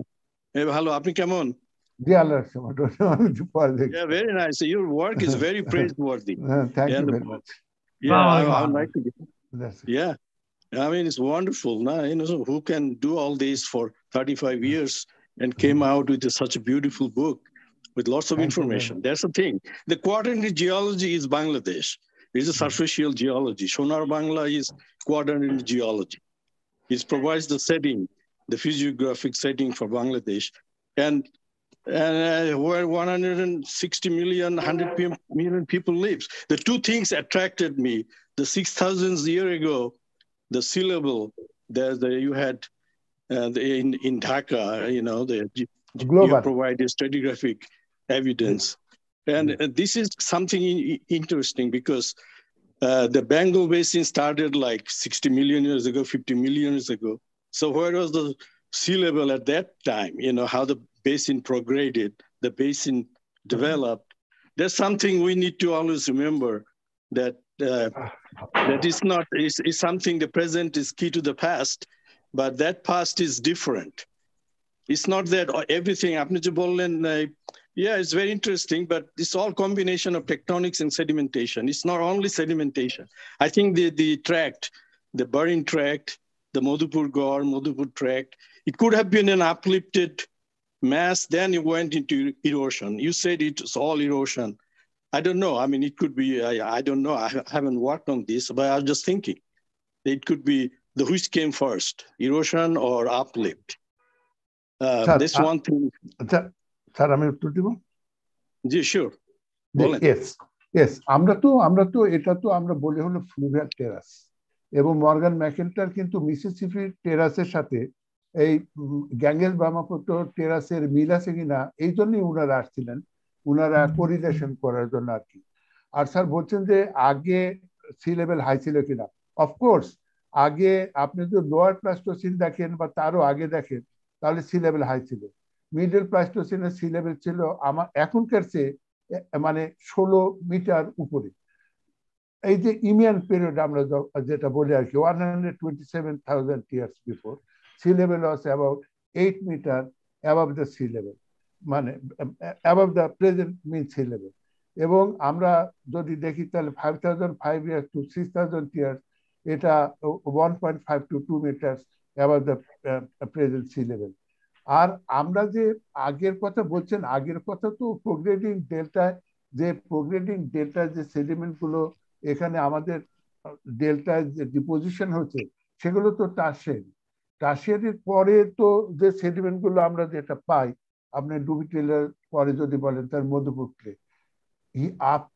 মানে রাইজিং হিমালয়ের একটা ফ্যান যদি আপনি স্যার মনে করেন রাইজিং হিমালয়ের যে ফ্যান ডিপোজিট এটাই তো আমাদের এই এই হলো মধ্যপুত্রে এবং এটা পুরাটাই তখন ফ্লাড হতো তখন তখন সি লেভেল হয়তো নিচে ছিল তখন এগুলো ধীরে ধীরে এই ফ্যানটা ধীরে ধীরে সি ওয়ার্ডের দিকে প্রোগ্রেড করছে। তারপরে সি লেভেল হাই হচ্ছে সেটা তো সেটা তো অনেক পরে। আমরা তো অতি সামান্য টাইম নিয়ে আমরা চিন্তা করছি। এবং মানে মধুপুরের বয়স কিন্তু আমি নির্ধারণ করে, সেটা লোয়ার প্লাস্টোসিন বলছি। এটা মধুপুরের বয়স লোয়ার প্লাস্টোসিন বলছি প্যালিম্যানিটিজমের রেজাল্ট দিয়ে আর কি আমি প্যালিম্যান্ট করছি। এই মধুপুর ক্লের মতো আছে পিকারমি ফরমেশন গ্রিসের আমি দেখছি। এই হার্জিল ফরমেশন ফ্রান্স আছে, আমি দেখছি স্যার। এগুলো আছে ক্যাম্পেইন ফরমেশন ওখানে আমি কাজ করছি, স্যার। এবং এগুলো জাইরের ছবি আমি কিছু দেখছি, যারা আমার সাথে পিএইচডি করছিল। লোয়েস প্লাটু ইয়ার মানে চায়না চায়নার যে লোয়েস প্লাটু সেভেন্টি মিটার ঠিক লোয়েস প্লাটু ওর সেলমেন্টগুলো আমি দেখছি। কারণ সবগুলো নিয়ে আমরা একসাথে রিসার্চ করতাম। ওদের স্যাম্পলগুলো দিই এখানে ইনডিফারেন্সিয়েবল রুকোর ফরমেশন একটা বলে, রুকোর ফরমেশন রুকোর ফরমেশন যদি টেবিলে রাখেন স্যার, মধুপুর ফরমেশন যদি টেবিলে রাখেন, একই রকম লাগবে। এগুলো সব মিডল প্লাস্টোসিন যেটা আমরা মনে করি আর কি। কিন্তু এটা আবার এটা এও ঠিক যে এর আগে হয়তো মানে সমুদ্র লেভেল হাই ছিল। মিডল প্লাস্টোসিনের পরে এমন কোনো হাই সি লেভেল ছিল না যেটা এই মধুপুর ফরমেশনকে ফ্লাডেড করে ফেলছে। কোনো রেকর্ড নেই sir Thank you, thank you. And I hope that your book will, uh, the people who, the Delta Plan, হ্যাঁ আপনার কি বক্তব্য? যে ডেল্টা প্ল্যানে আপনার বইয়ের কি কন্ট্রিবিউশন থাকতে পারে? And how the, how how they can delta প্ল্যানের স্যার এটা তো একটা বড় প্রজেক্ট যেটা আমাদের মাননীয় প্রধানমন্ত্রী নিছেন ইউনিক প্রজেক্ট এবং এটা মানে হাজার হাজার এখানে সায়েন্টিস্ট এখানে থাকবে। আমরা আমরাও কিছু আমি তো আওয়ামী লীগের সায়েন্স অ্যান্ড টেকনোলজি যে সাব কমিটি আছে চেয়ারম্যান আমরা বলছিলাম যে একটা রোড তৈরি করা হবে যেটা একদম মানে ওয়েস্টার্ন কোস্ট থেকে একদম ফেনী নদী পার হয়ে চিটাং পর্যন্ত যাবে, যেন ওই দিকের মানুষগুলো ঘুরিয়া না এসে সোজা পথে আসতে পারে। কিন্তু এটা একটা প্রস্তাব আকারেই আছে।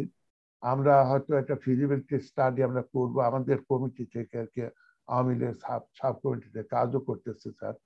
এখন এর সাথে আমি তো আমার বয়স হয়েছে স্যার আমারও কিন্তু বয়স হয়ে গেছে। আমরা তো এখন ইয়ং যারা জিওলজিস্ট আছে তারাই কিন্তু দেখবে আর কি। আছে অনেকেই আছে যারা এর সাথে সম্পৃক্ত আছে। স্যার। এই প্রসঙ্গে একটা ছোট্ট কথা একটা ছোট্ট আবেদন করতে চাই স্যার আপনার কাছে।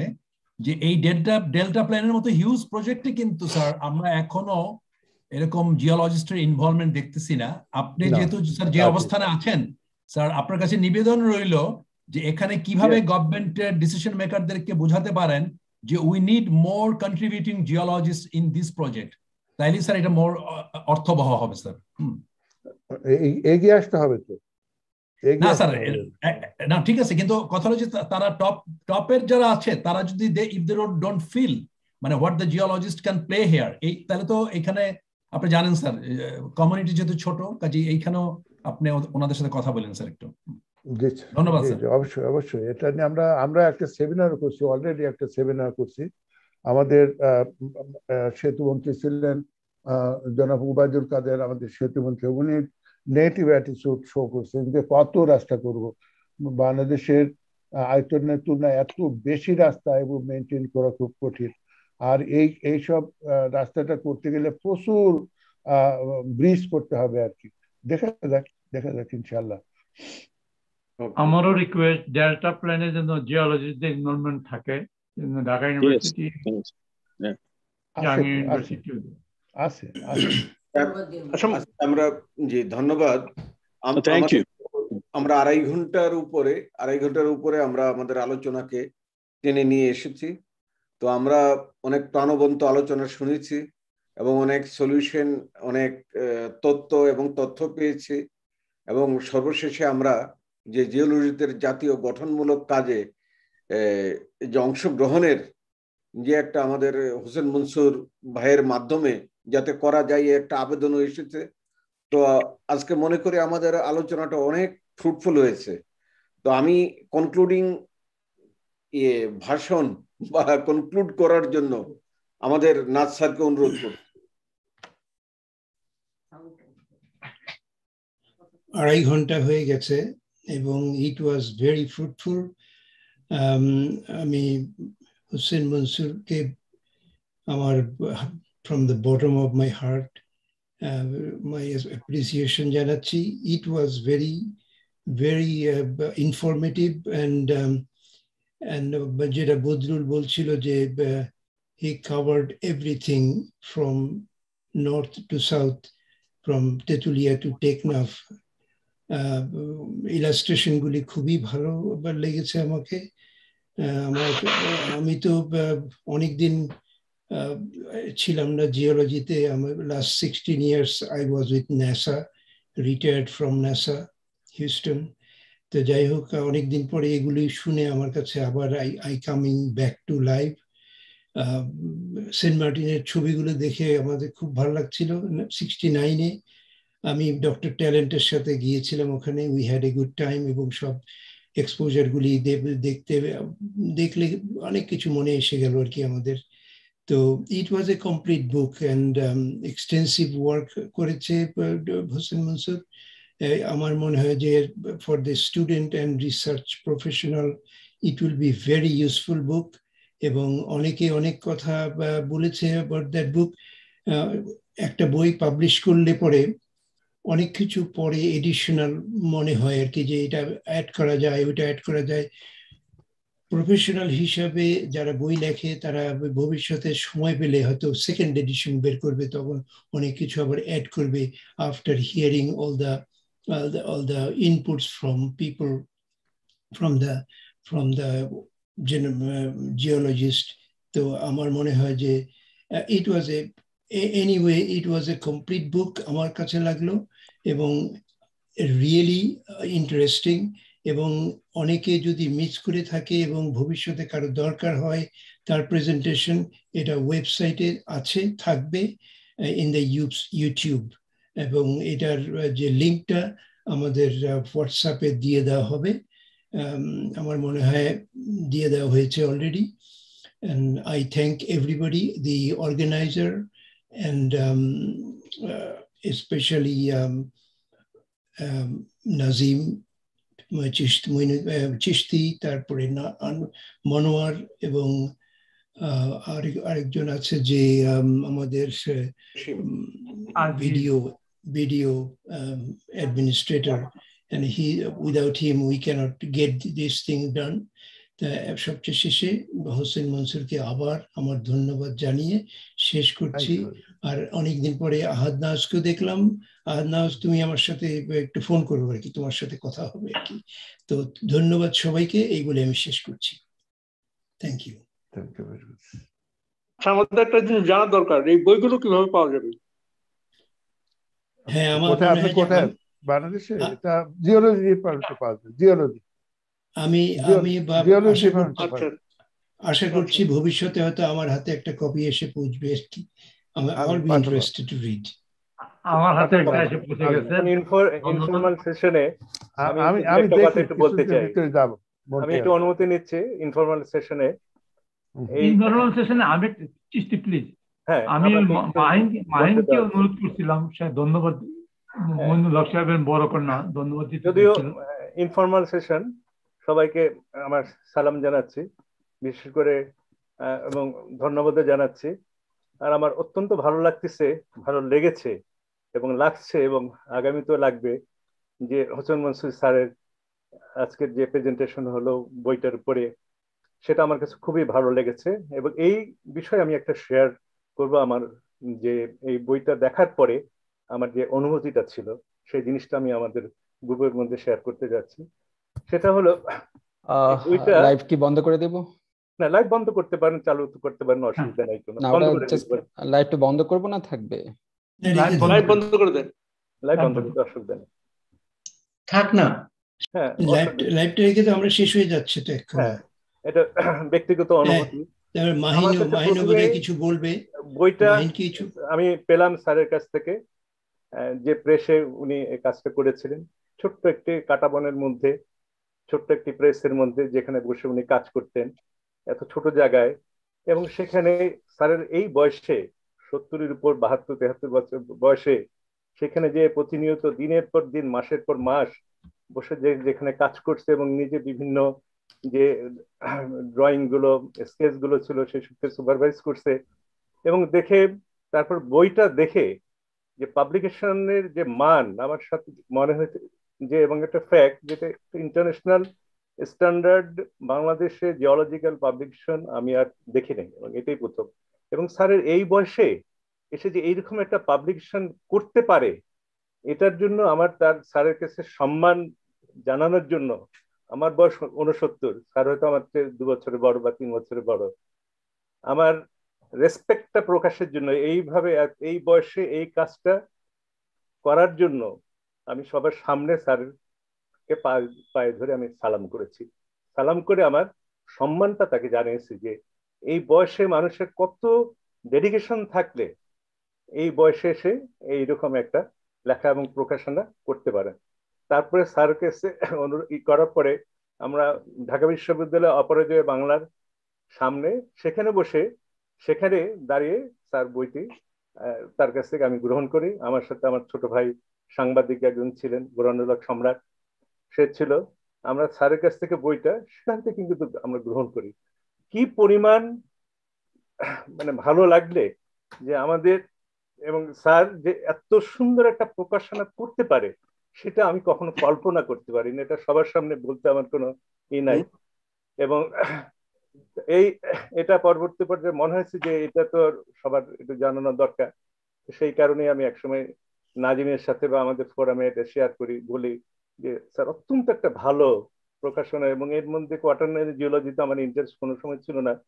কিন্তু যতটুকু আমি দেখেছি এত চমৎকার একটা পাবলিকেশন যে করেছে এবং স্ট্যান্ডার্ড পাবলিকেশন করেছে সেটা আমাদের এই ফোরামে আসাটা মাধ্যমে আমরা জানাতে পারি। তাহা আবার অনেকবার নাজিম স্যারকে মৌসুম স্যারকে রিকোয়েস্ট করেছে। করার পরে তারপরে স্যার অবশেষে আজকে এসে যে এটা প্রেজেন্টেশন দিল, এই জন্য আমি স্যার কাছে অত্যন্ত ধন্যবাদ জানাচ্ছি এবং কৃতজ্ঞতা বোধ করছি। ধন্যবাদ সবাইকে। আমিও ধন্য হয়েছি আর কি। এত বড় ফোরামে এত লার্নেড পার্সন বিশেষ করে আমাদের অনেক সিনিয়র ভাই আছেন নাজাদ ভাই আছেন তারপরে আজনার স্যার আছেন আমি খুবই অত্যন্ত সিনিয়র আর আমার অনেক প্রিয় ছাত্র দেখছি এখানে বহুত আছে এখানে টিপু আছে নদী আছে অনেকেই দেখলাম যারা এখানে উপস্থিত আছেন আর তারপরে মানে সবাইকে আমি ধন্যবাদ, আমি কীভাবে বলব, আমি কীভাবে এক্সপ্রেস করব যে মানে আমি কত খুশি হয়েছি আপনাদের প্রতি কত কৃতজ্ঞ যে আমাকে চান্স দেওয়ার জন্য আর কি। সবাইকে ধন্যবাদ।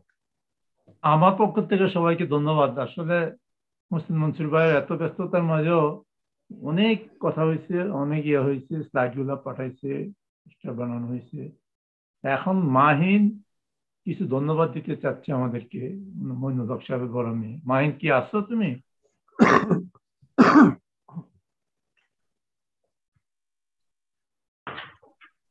মাহিন মনে হয় নেই মাহিন আছে এটা আনমিউট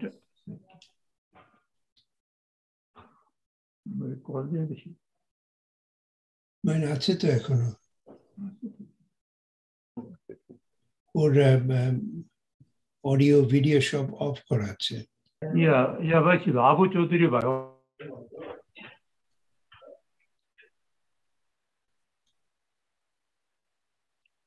অতুলু ভাইও আছিল এখানে মনসুর ভাই। অথুলু ভাইও কিন্তু শুনছে মনে মনোযোগ আবু চৌধুরী ভাই অথুলু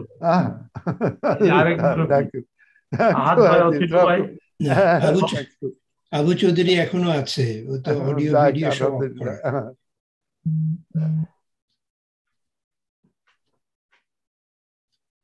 মাহিন কি আছে? মাহিন নাই মাহিন আছে তো কিন্তু ওর ইয়ে করা মিউট করা। অডিও ভিডিও সব অফ করা আছে। আমি আজিজকে অনুরোধ করছি একটু আনমিউট করে দেওয়ার জন্য। স্যার বলা হয়েছে উনি মনে হয় স্ক্রিনের সামনে নাই। আমি রিকোয়েস্ট পাঠাইছি দিচ্ছেন না। নাজিম একটা কল দিয়ে দাও। হ্যাঁ কল দিছিলাম যাই হোক তো এখন সংসার আছে দুই বাচ্চা আছে। ও ওর পক্ষ থেকে আমি বলি আসলে মঞ্জুলক সাহেবের ফ্যামিলির পক্ষ থেকে সবাই কৃতজ্ঞতা প্রকাশ করছে। বিশেষ করে মনসুর ভাই এবং তার এই বইটা এবং আজকের এই আলোচনার জন্য। সবাইকে আবার ধন্যবাদ। নাজ ভাই শেষ করতে পারি।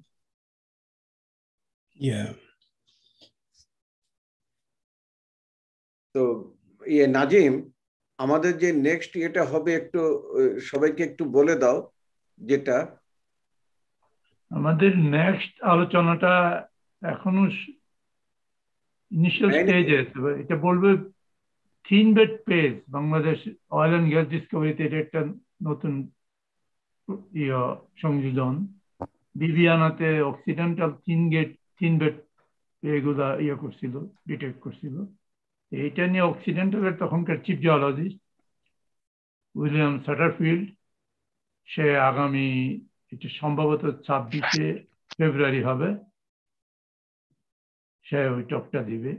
Twenty six February Saturday doctor Will Satterfield, বাংলাদেশের থিন বেড পেজ এবং তার prospect future gas oil and gas এটা নিয়ে আলোচনা করবে। আশা করি সে টাইম দিতে পারবে। সেও মুন্সিপালের মতো খুব ব্যস্ত, সেও বিপি একজন অয়েল কোম্পানির কাজে আমরা সবাই জয়েন করব ইনশাল্লাহ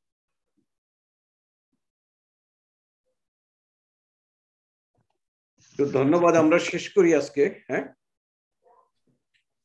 আজিজ আপনি অনেক আপনাকে ধন্যবাদ জানাই সর্বশেষে আপনার নিরলস মানে কন্টিনিউড সাপোর্টের জন্য।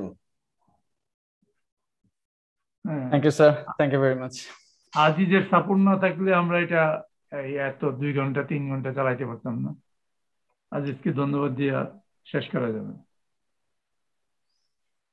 Thank you sir thank you very much.